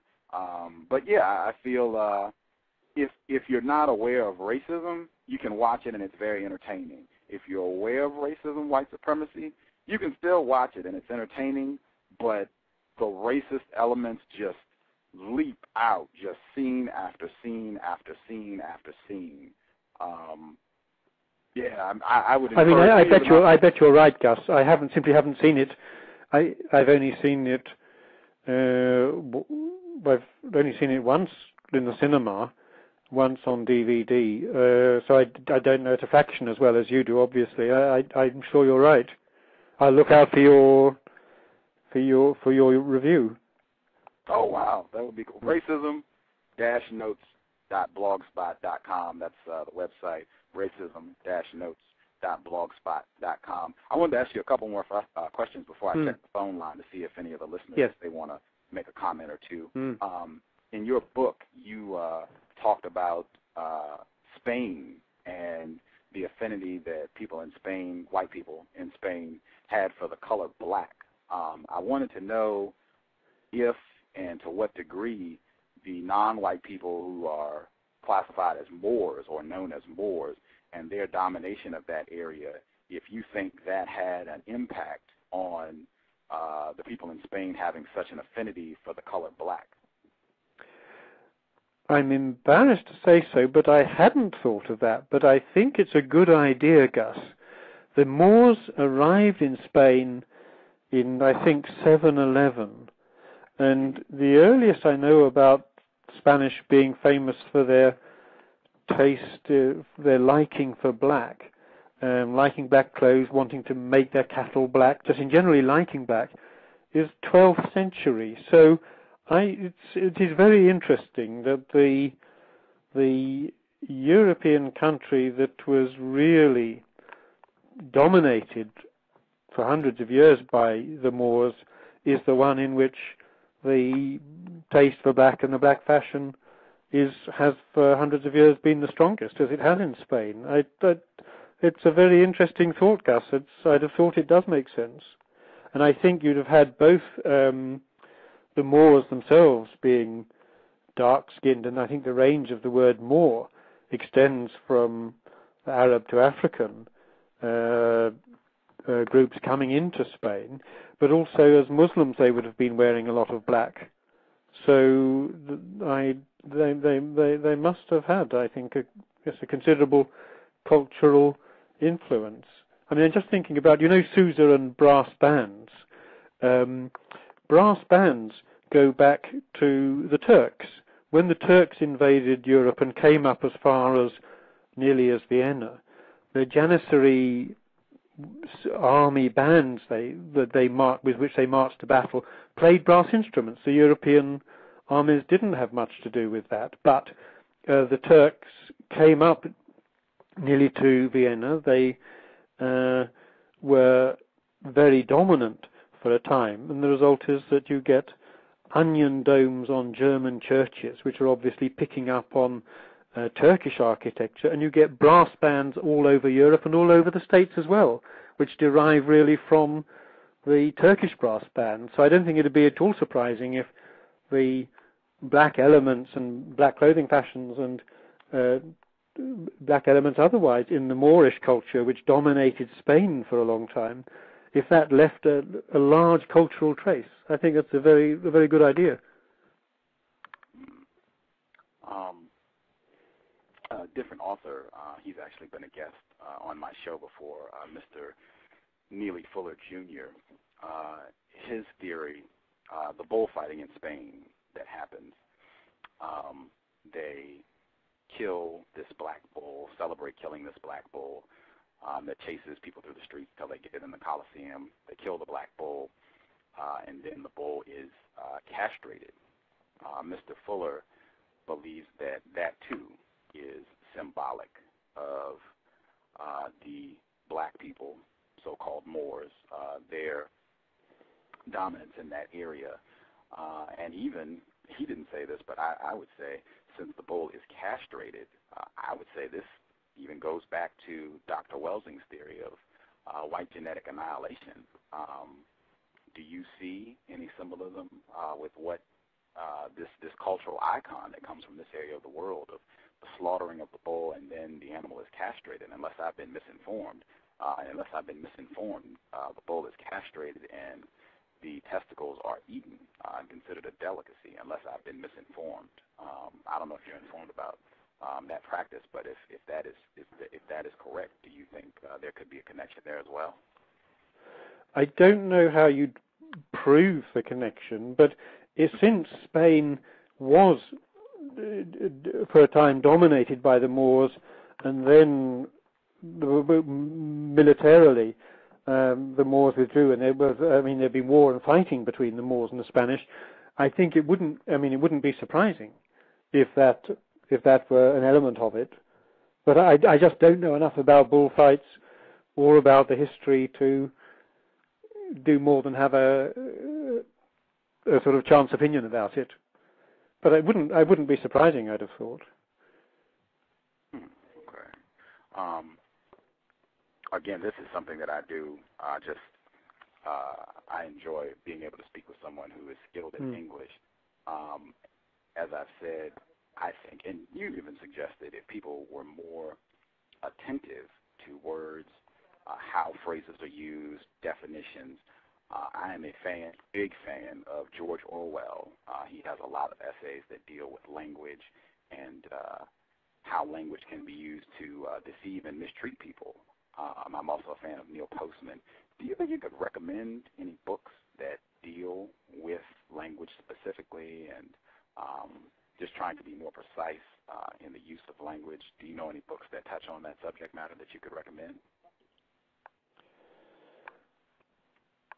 Uh, I, it's not a, a part of language that I've dis, that I've really d- discussed a lot with students. I think a book on language I'd recommend, which is very different, is called Seven Types of Ambiguity by a man called William Empson, what that is good at doing is showing you what very different games uh, words can play. He's not dealing with racial issues in that book, but he is showing you how slippery and complicated words are and how many different things they may be doing at the same time. And when you think they're doing one thing, they're doing another.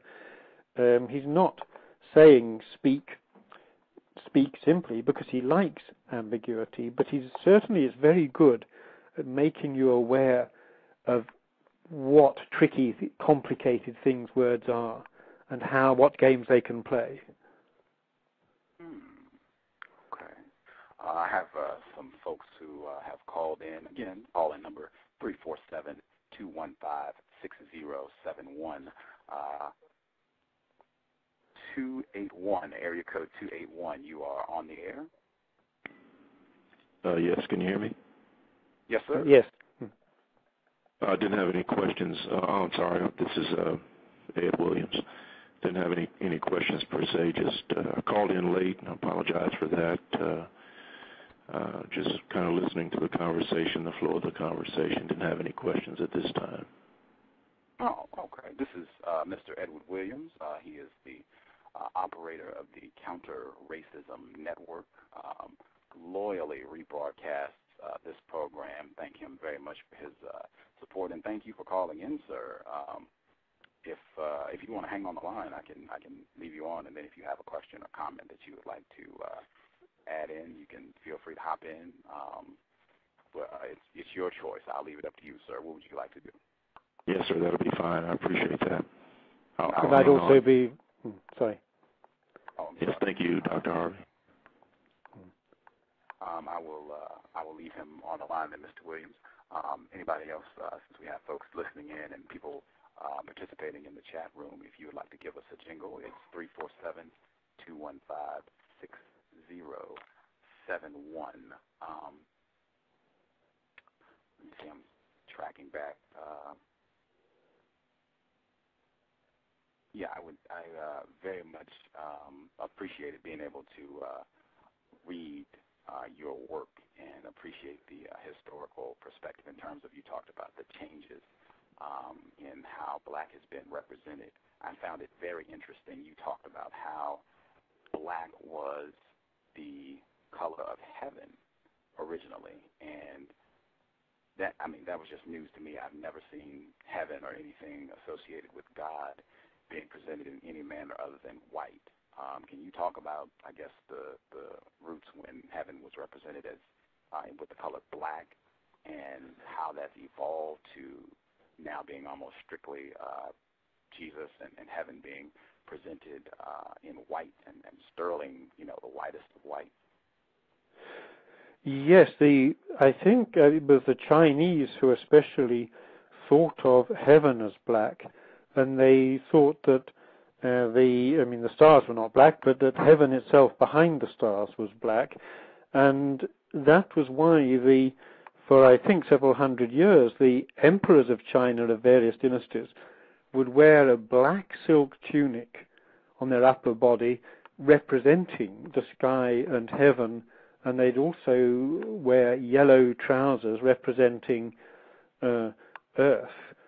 Uh, the Christian or Western religions uh, don't think of heaven as being black, but the God, there's a whole mystical tradition of God actually li- living in the deepest darkness rather than in blinding light.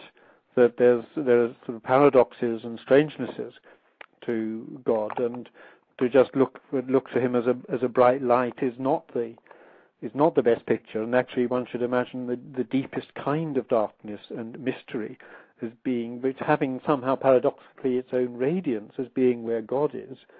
Uh, about Jesus, it's true that, so far as I can see, the clothes which people wore in heaven in Jewish tradition which then became general Christian tradition, were white.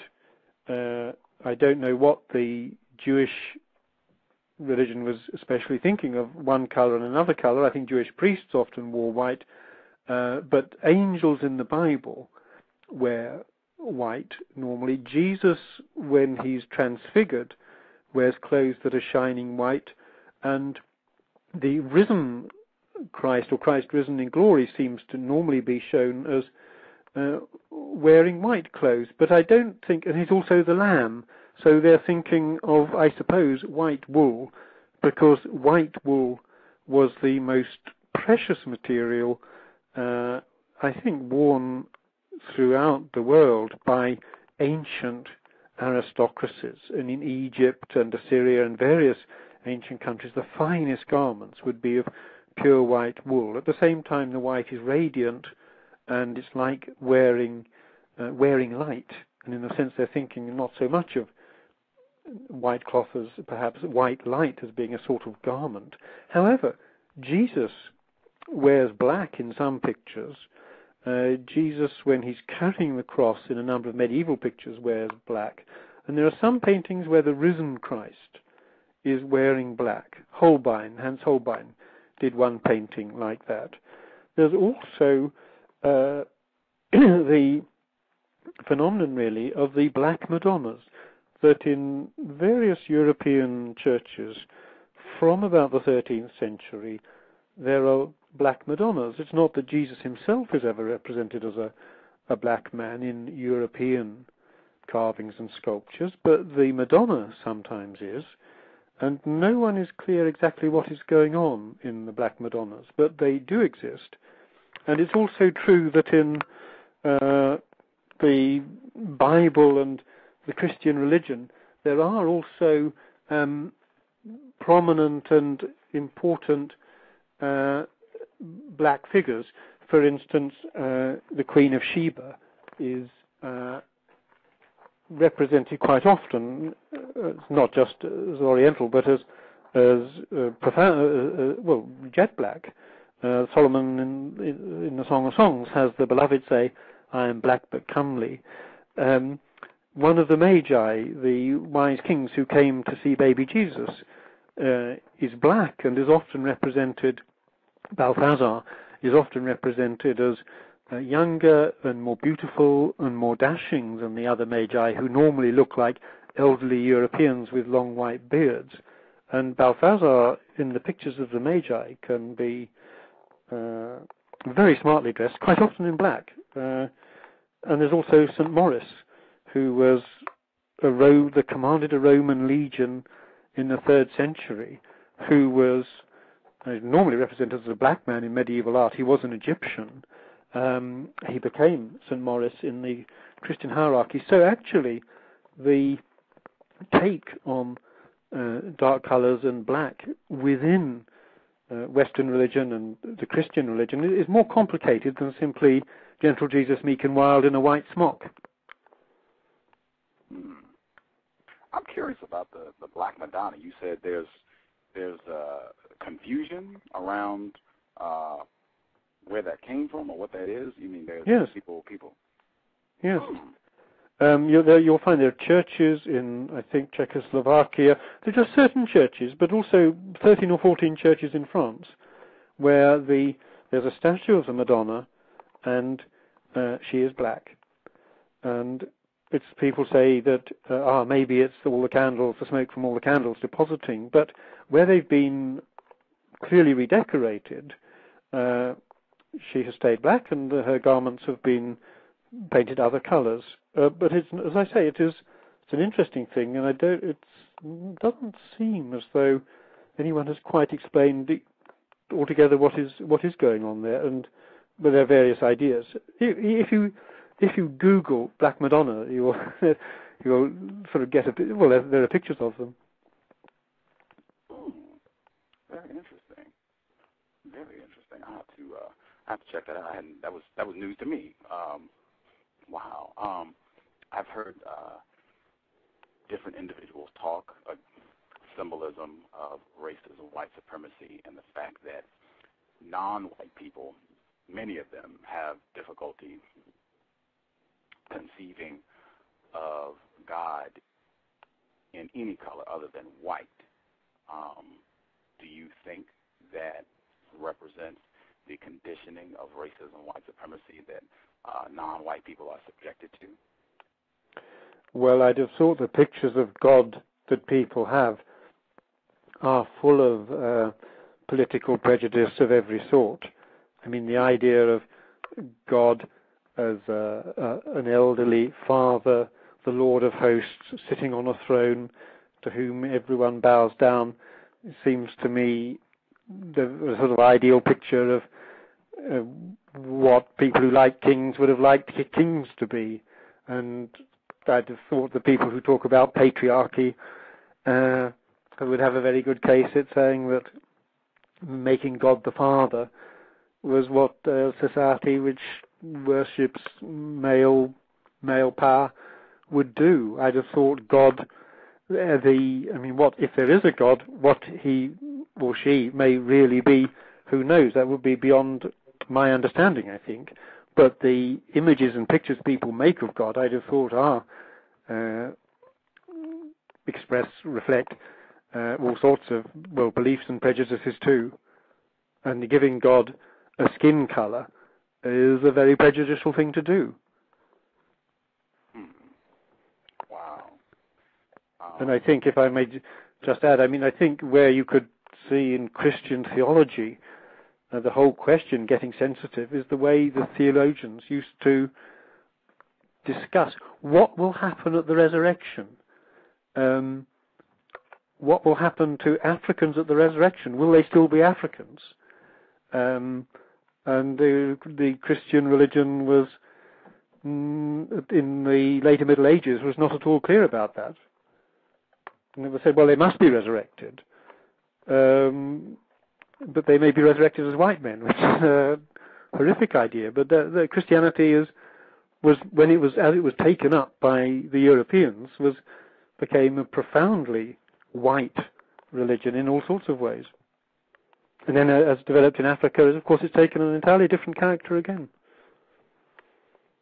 Wow. Wonder Cats, we have a, uh, a caller on the line. Uh, 314, you are on the air.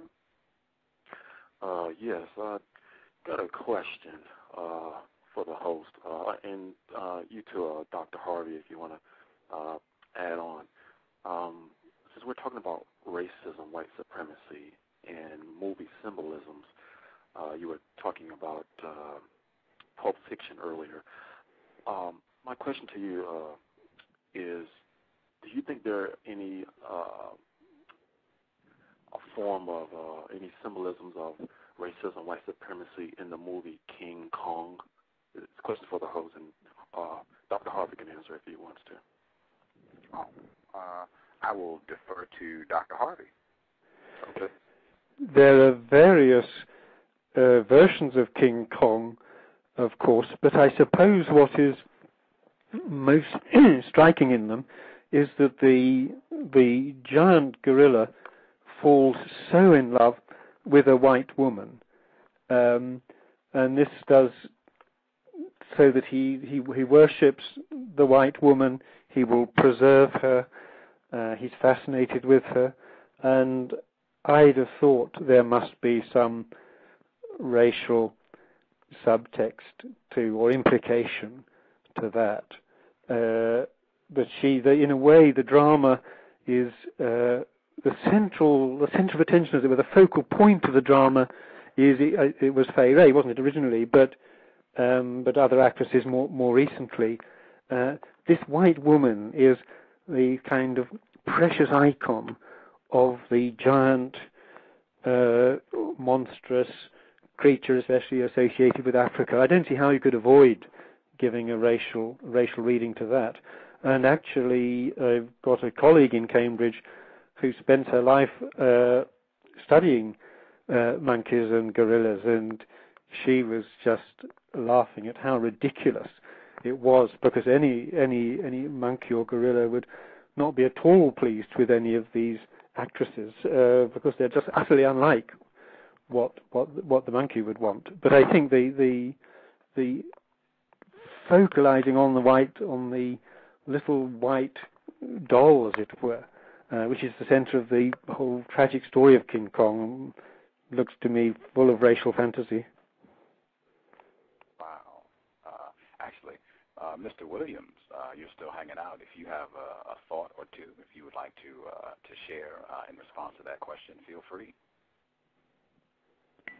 Um, oh, thank you. Uh, no, sir, I didn't. I didn't have any uh, anything at this particular time. I, you know, it's difficult when uh, when talking about um, the symbolism uh, or symbolisms of um, the system of racism, white supremacy, to attach that to uh, solving the race problem. Um, it's it's something that we've done uh, time and time again that non-white people get involved with on a continuous basis is, uh, talking about and developing some appreciation for the uh, the symbolisms of racism, white supremacy, or you know pathologies and and things of that nature. So I don't uh, I don't normally get involved in those kind of conversations, but it sounds interesting. It definitely sounds interesting, and so I am sitting listening attentively to the conversation. I don't have any uh, any questions in regard to that. Thank thank you for uh, pinging me. Not a problem, sir. Um, I don't know. I uh, I have not seen uh, King Kong in some time. Um, I would uh, I would feel more confident if I had seen it recently to make a, uh, a statement about it. I know I uh, I heard Dick Gregory, uh, who is a non-white male, uh, he was sharing his thoughts on uh, King Kong, and he said that the fact that the uh, climax of the film, if you will, takes place in New York. He uh, King Kong is climbing the Empire State Building. Uh, he pointed out that New York, uh, at the time, and may still be, regarded as uh, the boxing capital of the world. And he said that he felt it was symbolic of uh, Jack Johnson, who was a uh, boxer, non-white male, uh, famous for having sexual relationships with white women. Uh, that it was symbolic of what will happen if a non-white male pursues a white woman, um, which I thought was kind of interesting. I hadn't heard that perspective before, but uh, that's what I heard Dick Gregory say. Um, again, I would feel more confident if I had seen uh, King Kong a little earlier, but uh, I'm, I'm sure, as, as Dr. Harvey said, I'm sure that there's a lot of symbolism. I know uh, white people who practice racism have refer- uh, referenced uh, black people as monkeys. Um, continue. I even saw that in, in uh, President Obama's uh, campaign where he was being referenced as a monkey, and uh, Michelle Obama, and I believe their children as well. I've seen that happen repeatedly, so uh, it uh, is not surprising at all, um, and I'm sure a lot of it's there. I would just I would need to watch it again to to uh, pick out everything that's there. Um, 314, did you have another question or comment? Yeah, I had a comment. Um, well, the reason I asked the question is because, um, you know, um, you kind of took the words out of my mouth that, you know, this, uh, you know, back, uh, back in, in history, you know, uh, we've been, uh, I'm an African American male, and, you know, we've been uh, called monkeys and uh, sometime or another. And uh, I, I just want to say that uh, I, I looked at the movie, especially the, the the most recent one in 2005, and uh, you know I think the the symbolism that I was uh, really I really looked at was that uh, when they took the monkey, uh, took King Kong out of his natural habitat and brought him to uh, a different environment, and I thought I was wanted to uh, get some uh, wanted to know what the Dr. Harvey thought about that. What the, it has a symbolism to uh, the Middle Passage or the transatlantic slave trade. You know, taking uh, something out of their natural habitat and bringing them into a different environment, and the mistreatment of uh, that monkey. Not calling us monkeys, but when you take something out of a out of its natural habitat and bringing them in another environment, and, the mistreatment of that. I just wanted to know what Dr. Uh, uh, Harvey's uh, thoughts on that. Well, I, I I find that very convincing. I think it's uh, especially I mean, the film, I think all the versions of King Kong have been made in the States and have played very, very, I mean, they played worldwide, but they've also played very well in the States. And I'd have thought there must be some sense of a big history behind it. touching on that and bringing, in a, and in a sense, the bringing taking this enormously powerful creature, dragging him, imprisoning him, carrying him across the Atlantic, and then putting him in an utterly alien and hostile environment and killing him. Uh, must, I'd have thought, have some be taking something from from the history. And just to go back to the sexual element for a moment, uh, I mean, the I just thought the presentation of the tribesmen who, tribespeople who worship King Kong back on uh, his own island is uh, certainly presents them in all the versions as pretty primitive. You're not invited to feel too much in common with them, and at the same time why King Kong has not cared half so much about any of the women on the island as he cares about Fay Wray um, or Naomi Watts in the latest version. Uh, I just thought looks as I mean the film. I think the film is very in- interesting, precisely because presumably in a fairly innocent way, as far as the actors, scriptwriters, and so on were concerned, it does reveal so blatantly um, a, a, history of exploitation and imprisonment, transportation, abuse.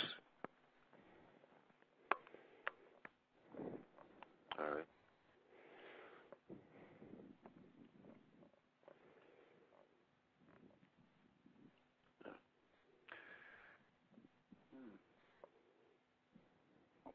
Uh, three one four. You still there? Oh yes, I'm still here. Uh, oh, I'm sorry. Did was there was that a question or? Oh, I, oh, no, uh, that, I didn't that's know. that's all that's all I had. I that's just wanted to know what the, what uh, uh, what uh, Dr. Harvey's uh, thoughts were on that uh, Oh, that particular part of the movie. That's all.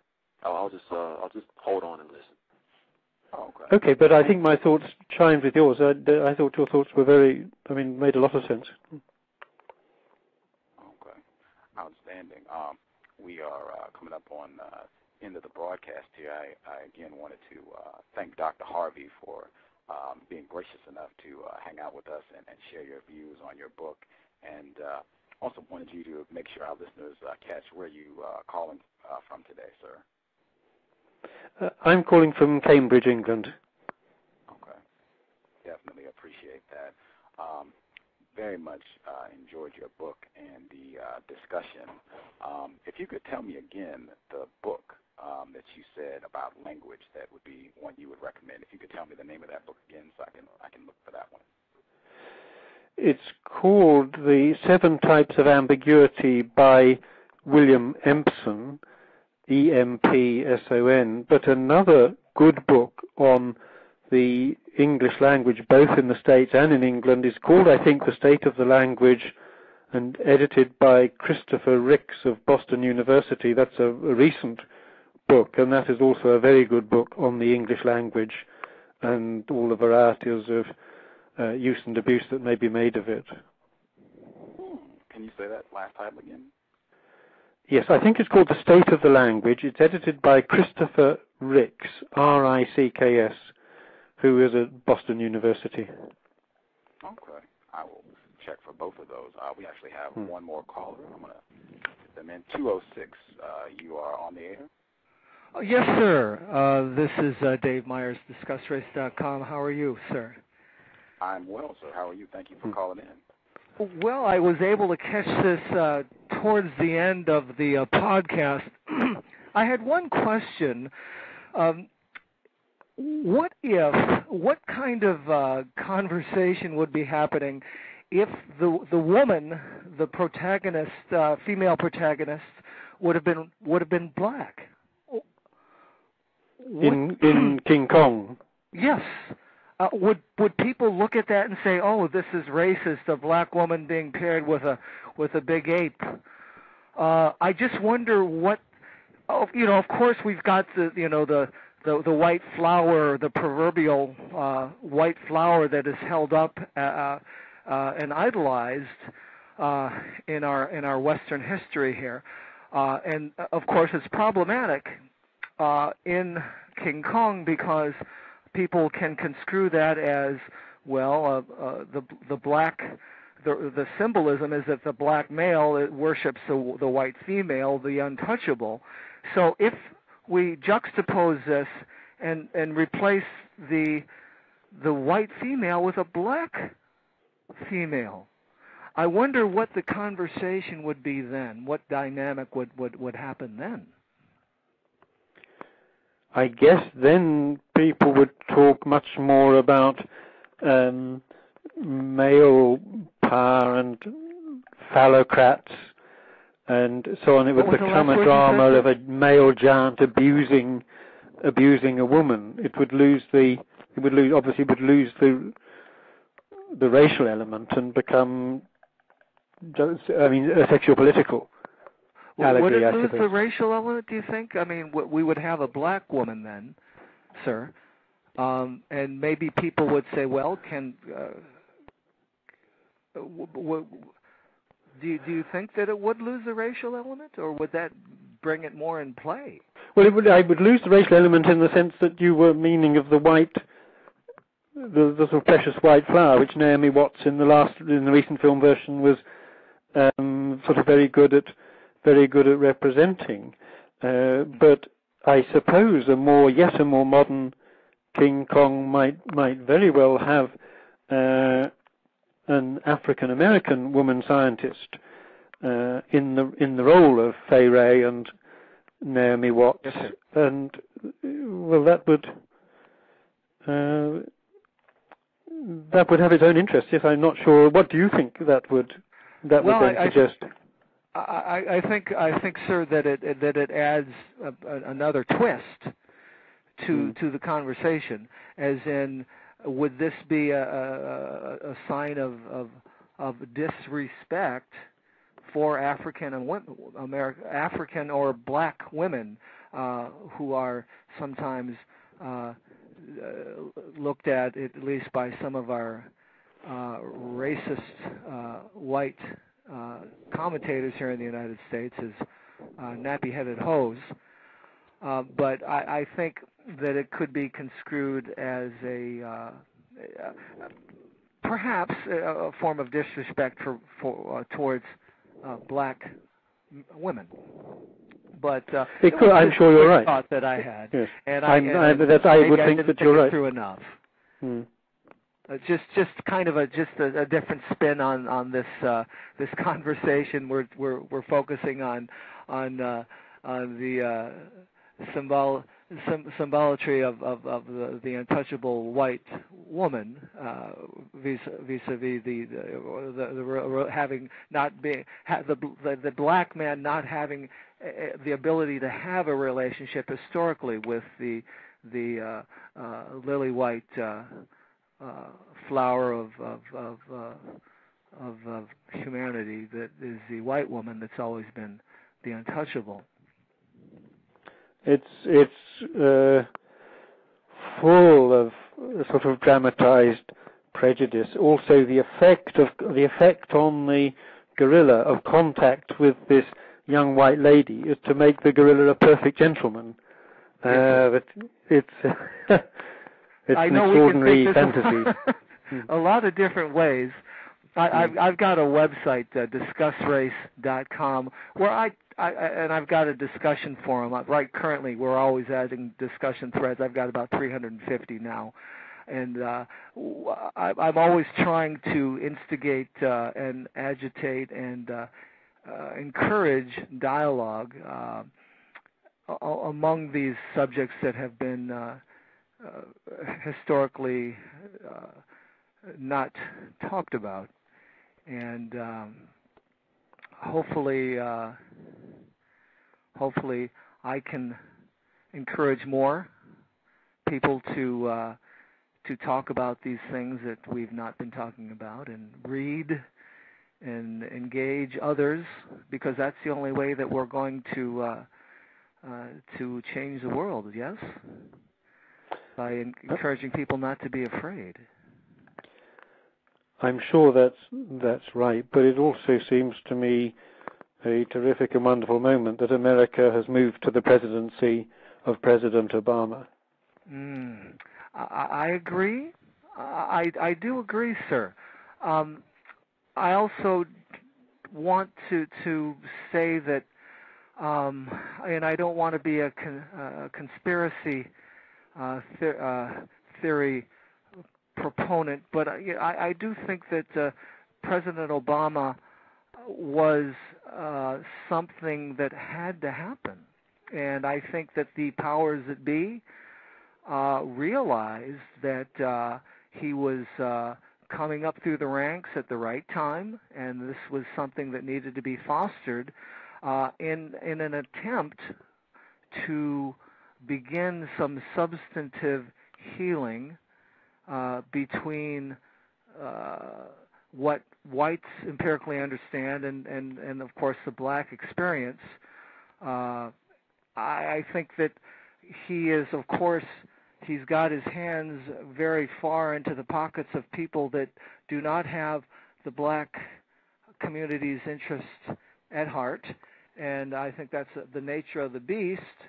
Uh, and uh, but I think that he is a step in uh, he is a necessary and needed step in the right direction.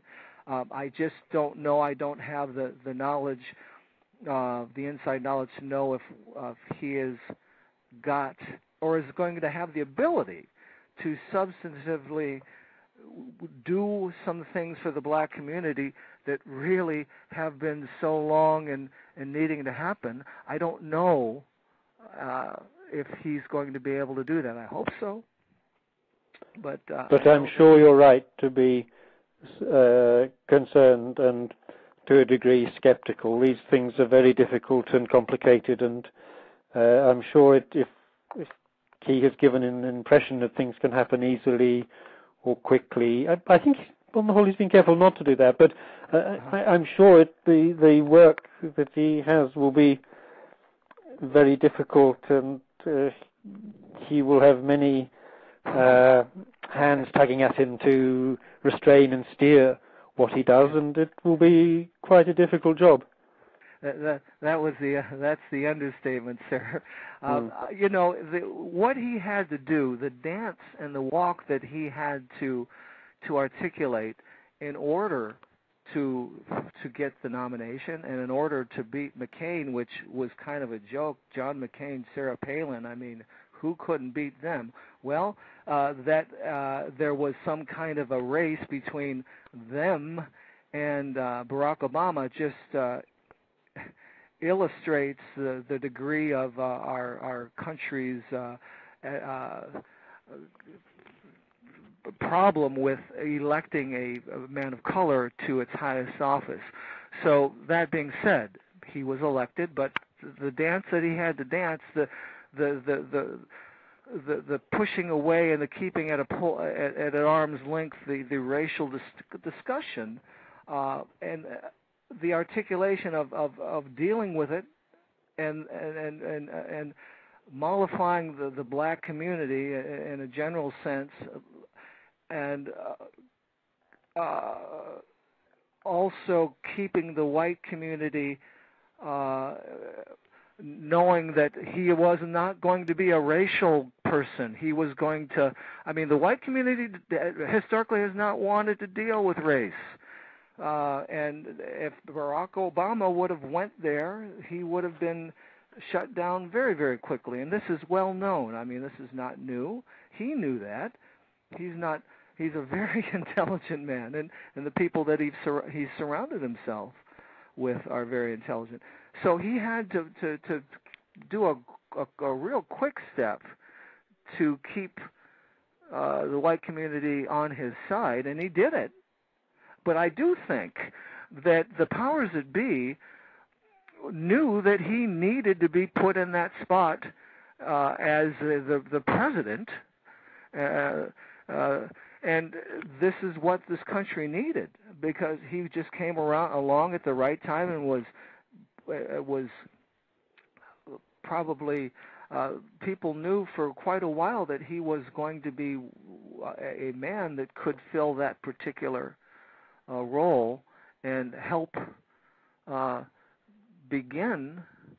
Uh, and, and what I want to say is, I don't know uh, what the, the, what the end result is. I don't know if we the powers that be really want black people to be totally empowered in a sense that they have the same kind of standing as the white man in America. I don't know if that would be uh, in, in a perfect world. That's where we want to go, but I don't know if that's where the powers that be want to go. So I can't say uh, what uh, what they really want from Barack Obama, President Barack Obama.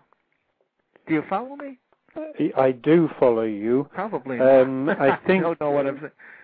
No, I no, I do appreciate. I, I think Barack Obama is very adroit, and this means that he will manage.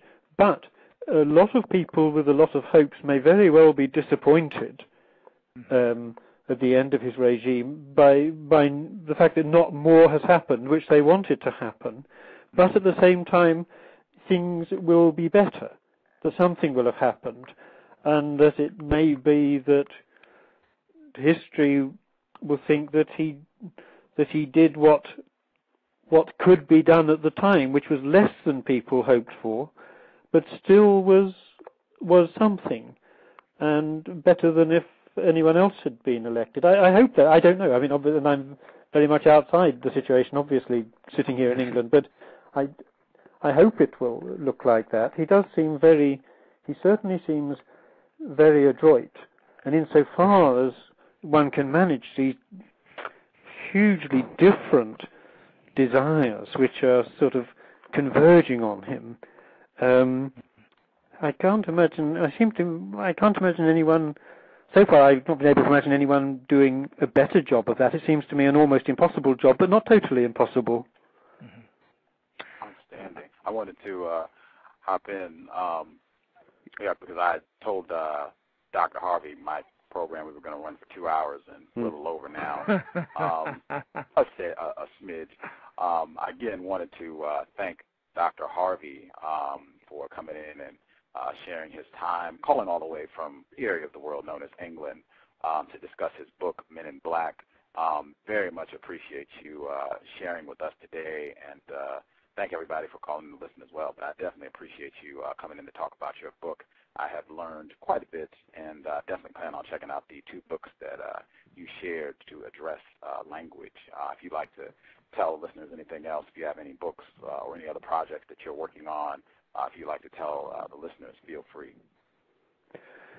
Well, actually, the publisher who did Men in Black has asked me to write a more general history of the color black. So the question, uh, in all its aspects, are not just to do with clothes. So the question is a very live one uh, for me. So there will be a another book on black in in in a year or two. Uh, I don't know exactly yet what it will be what it will be called, but uh, if listeners do remember me when they see a new book come out on black, and if they if the name John Harvey catches their attention, um, well, I'd be very pleased. we will do that. I will definitely uh, make sure I keep my eyes open uh, for another work, uh, particularly if you're going to be talking about black and, and symbolism there. I will definitely uh, keep my eyes out for it. Uh, again, uh, Dr. John R. Harvey, author of Men in Black, our guest today. I want to thank you for calling in, and uh, we'll definitely uh, be in touch. And, and thank you again for being so gracious with your time, sir. Thank you for asking me, Gus. It's been a great pleasure. Thank you. It has been my pleasure, sir. Thank you so much, and I will uh, speak with you soon. Thank Um, I definitely, uh, I wanted to. Uh, Mr. Williams, are you still here? Uh, Mr. Myers is. Yes, sir. I thought I had uh, Mr. Williams present as well. Oh, I boy, and I I wasn't able to catch uh, him. I wish I would have been able to hear more of what he had to say. Darn, I, kinda think I lost it. Mr. Williams. Okay. Um, my switchboard uh, gets a little funny uh, sometimes uh, yeah. at a certain point in the program. So I might have lost Mr. Williams. If I did, man, I uh, am sad about that. I did want to ask him uh, a few questions since I had him on the air. It's not often that I'm able to uh, converse with him directly. Um, I will. I'll make a plug for him since he's not here to do it himself. Uh, Mr. Edward Williams, uh, host of the Counter Dash Racism Network. Um, you can go there, uh, check out his site, counter-racism.com. Uh, you can check out his site. He has uh, tons of lectures from Mr. Neely Fuller Jr., uh, Dr. Frances Cress Welsing. Uh, the Cows is rebroadcast there. Um, lots of constructive information. He has a work study for people who are doing uh, experiments or projects of any sort that are relative to racism, white supremacy. Uh, there's a dictionary there, Wiktionary, where you can go uh, and they uh, discuss different words and definitions. A lot of what we talked about today, definitions of words, and uh, you can share ideas about different terms, what they mean, what the most accurate definitions uh, for a word would be. Uh, very constructive information. He recently even uploaded a video where the non-white male known as Tiger Woods uh, said in an interview the strongest motivating factor for him has been being mistreated because he is not white. Uh, he was being interviewed, I believe this is on ESPN, but this is on uh, Mr. Williams' Counter Racism Network. Uh, he has a lot of other videos as well. Uh, as I said, radio programs, uh, audio clips, just lots of constructive information. Please go to uh, counter-racism.com uh, Mr. Edward Williams' site. I wish uh, he had been able to hang uh, hang on. I don't know if I lost him or if he, you know, got tied up and had things to do, but I definitely thank him for calling in uh, to the program and appreciate his support uh, in uh, rebroadcasting my episodes uh, as well. Uh, CREE7, uh, she is a non-white female uh, who is going to be coming up with her own counter-racism broadcast here on Blog Talk Radio. Uh, make sure you check her out. I believe she's shooting to do her first program uh, at the beginning of June. I believe it's June 7th. Uh, I suspect if you uh, put if you do a search on Blog Talk Radio, if you put in counter racism, I suspect you will see her show pop up. It should be C R E E 7. That's uh, new host here at Blog Talk Radio. She'll be doing constructive work on racism white supremacy. Definitely look out for that new show. I'm sure it will be uh, fabulous. I'll be checking it out. Um, Mr. Myers, uh, could you yes, please sir. Uh, tell them your, your website again so that we get that information? We can go there and support your site as well. Yes, sir. Thank you. Uh, my website is uh, www.discussrace.com. One word: D-I-S-C-U-S-S-R-A-C-E dot com and I've got a discussion forum on it that uh, there are a lot of really neat discussions that uh, are would be uh, informative to read if you'd like. Outstanding. I, I hope everybody that's tuned in uh, check out Mr. Myers' site, um, and I, I, definitely want to have you back on the program to discuss more of what we uh, spoke about when you called in on Saturday when Dr. Moore uh, was on the yes. program. Yes. So, I, oh, what a great conversation! I, oh, I thoroughly enjoyed so much more of that. I've tried to uh, contact Dr. Moore since this past weekend. I know he's been out of town and all that good yeah. stuff, so I'm going to try and get in touch with Dr. Moore again because other people uh, wanted me to see if I could get him back at some point to have him on the Oh. show. So I definitely, if you're listening, Dr. Moore, thank you for the show. Enjoyed it. It was fabulous dialogue. Uh, very much appreciated him taking his time.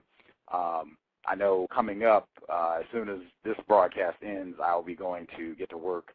Uh, A.C. Thompson will be on the program this Friday at 2:30 p.m. Pacific time, 5:30 p.m. Eastern time. A.C. Thompson is a white man, I believe, a journalist. He did an investigative report on black people being mistreated and killed in Katrina, or excuse me, in New Orleans during the whole uh, Katrina debacle, where white men armed themselves, uh, went out uh, KKK style, and just decided that this was a good chance to go hunt down black people. And Mr. A.C. Thompson, uh, he went to New Orleans and did some very thorough investigating of what happened uh, around this incident. Uh, reported on it, even uh, some of his investigation revealed there was uh, some complicity with the New Orleans Police Department and them either allowing this, not doing anything about it. uh, no effort to correct this behavior and to go out and see that justice was done. Uh, very uh, just disgusting aspects of racism, white supremacy. But his report, stunning. Uh, if you Google A.C. Thompson and Katrina, I'm sure it will pop up. You can read uh, his reports, and he's done several uh, on the work that he did there. But he will be on the program Friday, 2:30 p.m. Pacific time, 5:30 p.m. Eastern time. He'll be here to discuss his work on Monday at 11:30 a.m. Pacific and 2:30 p.m. Eastern. Mr. Tim Wise will be here. Tim Wise is furious with me because I reference him as an admitted white supremacist, which he said on my program. Uh, if you go to imeem.com and put in uh, Gus T. Renegade, I'm on imeem.com. That program is on imeem. That program has been in the rotation on the Counter Racism Network. He said it on my show. Um, he's very upset for a myriad of reasons. If you go to thecode.net, uh, you can see the emails that he sent me, and they are voluminous. I mean, wow. He had a lot to say, and I hope we will have a business like and respectable mm-hmm. discussion on Monday. I look forward to having Mr. Tim Wise on the program.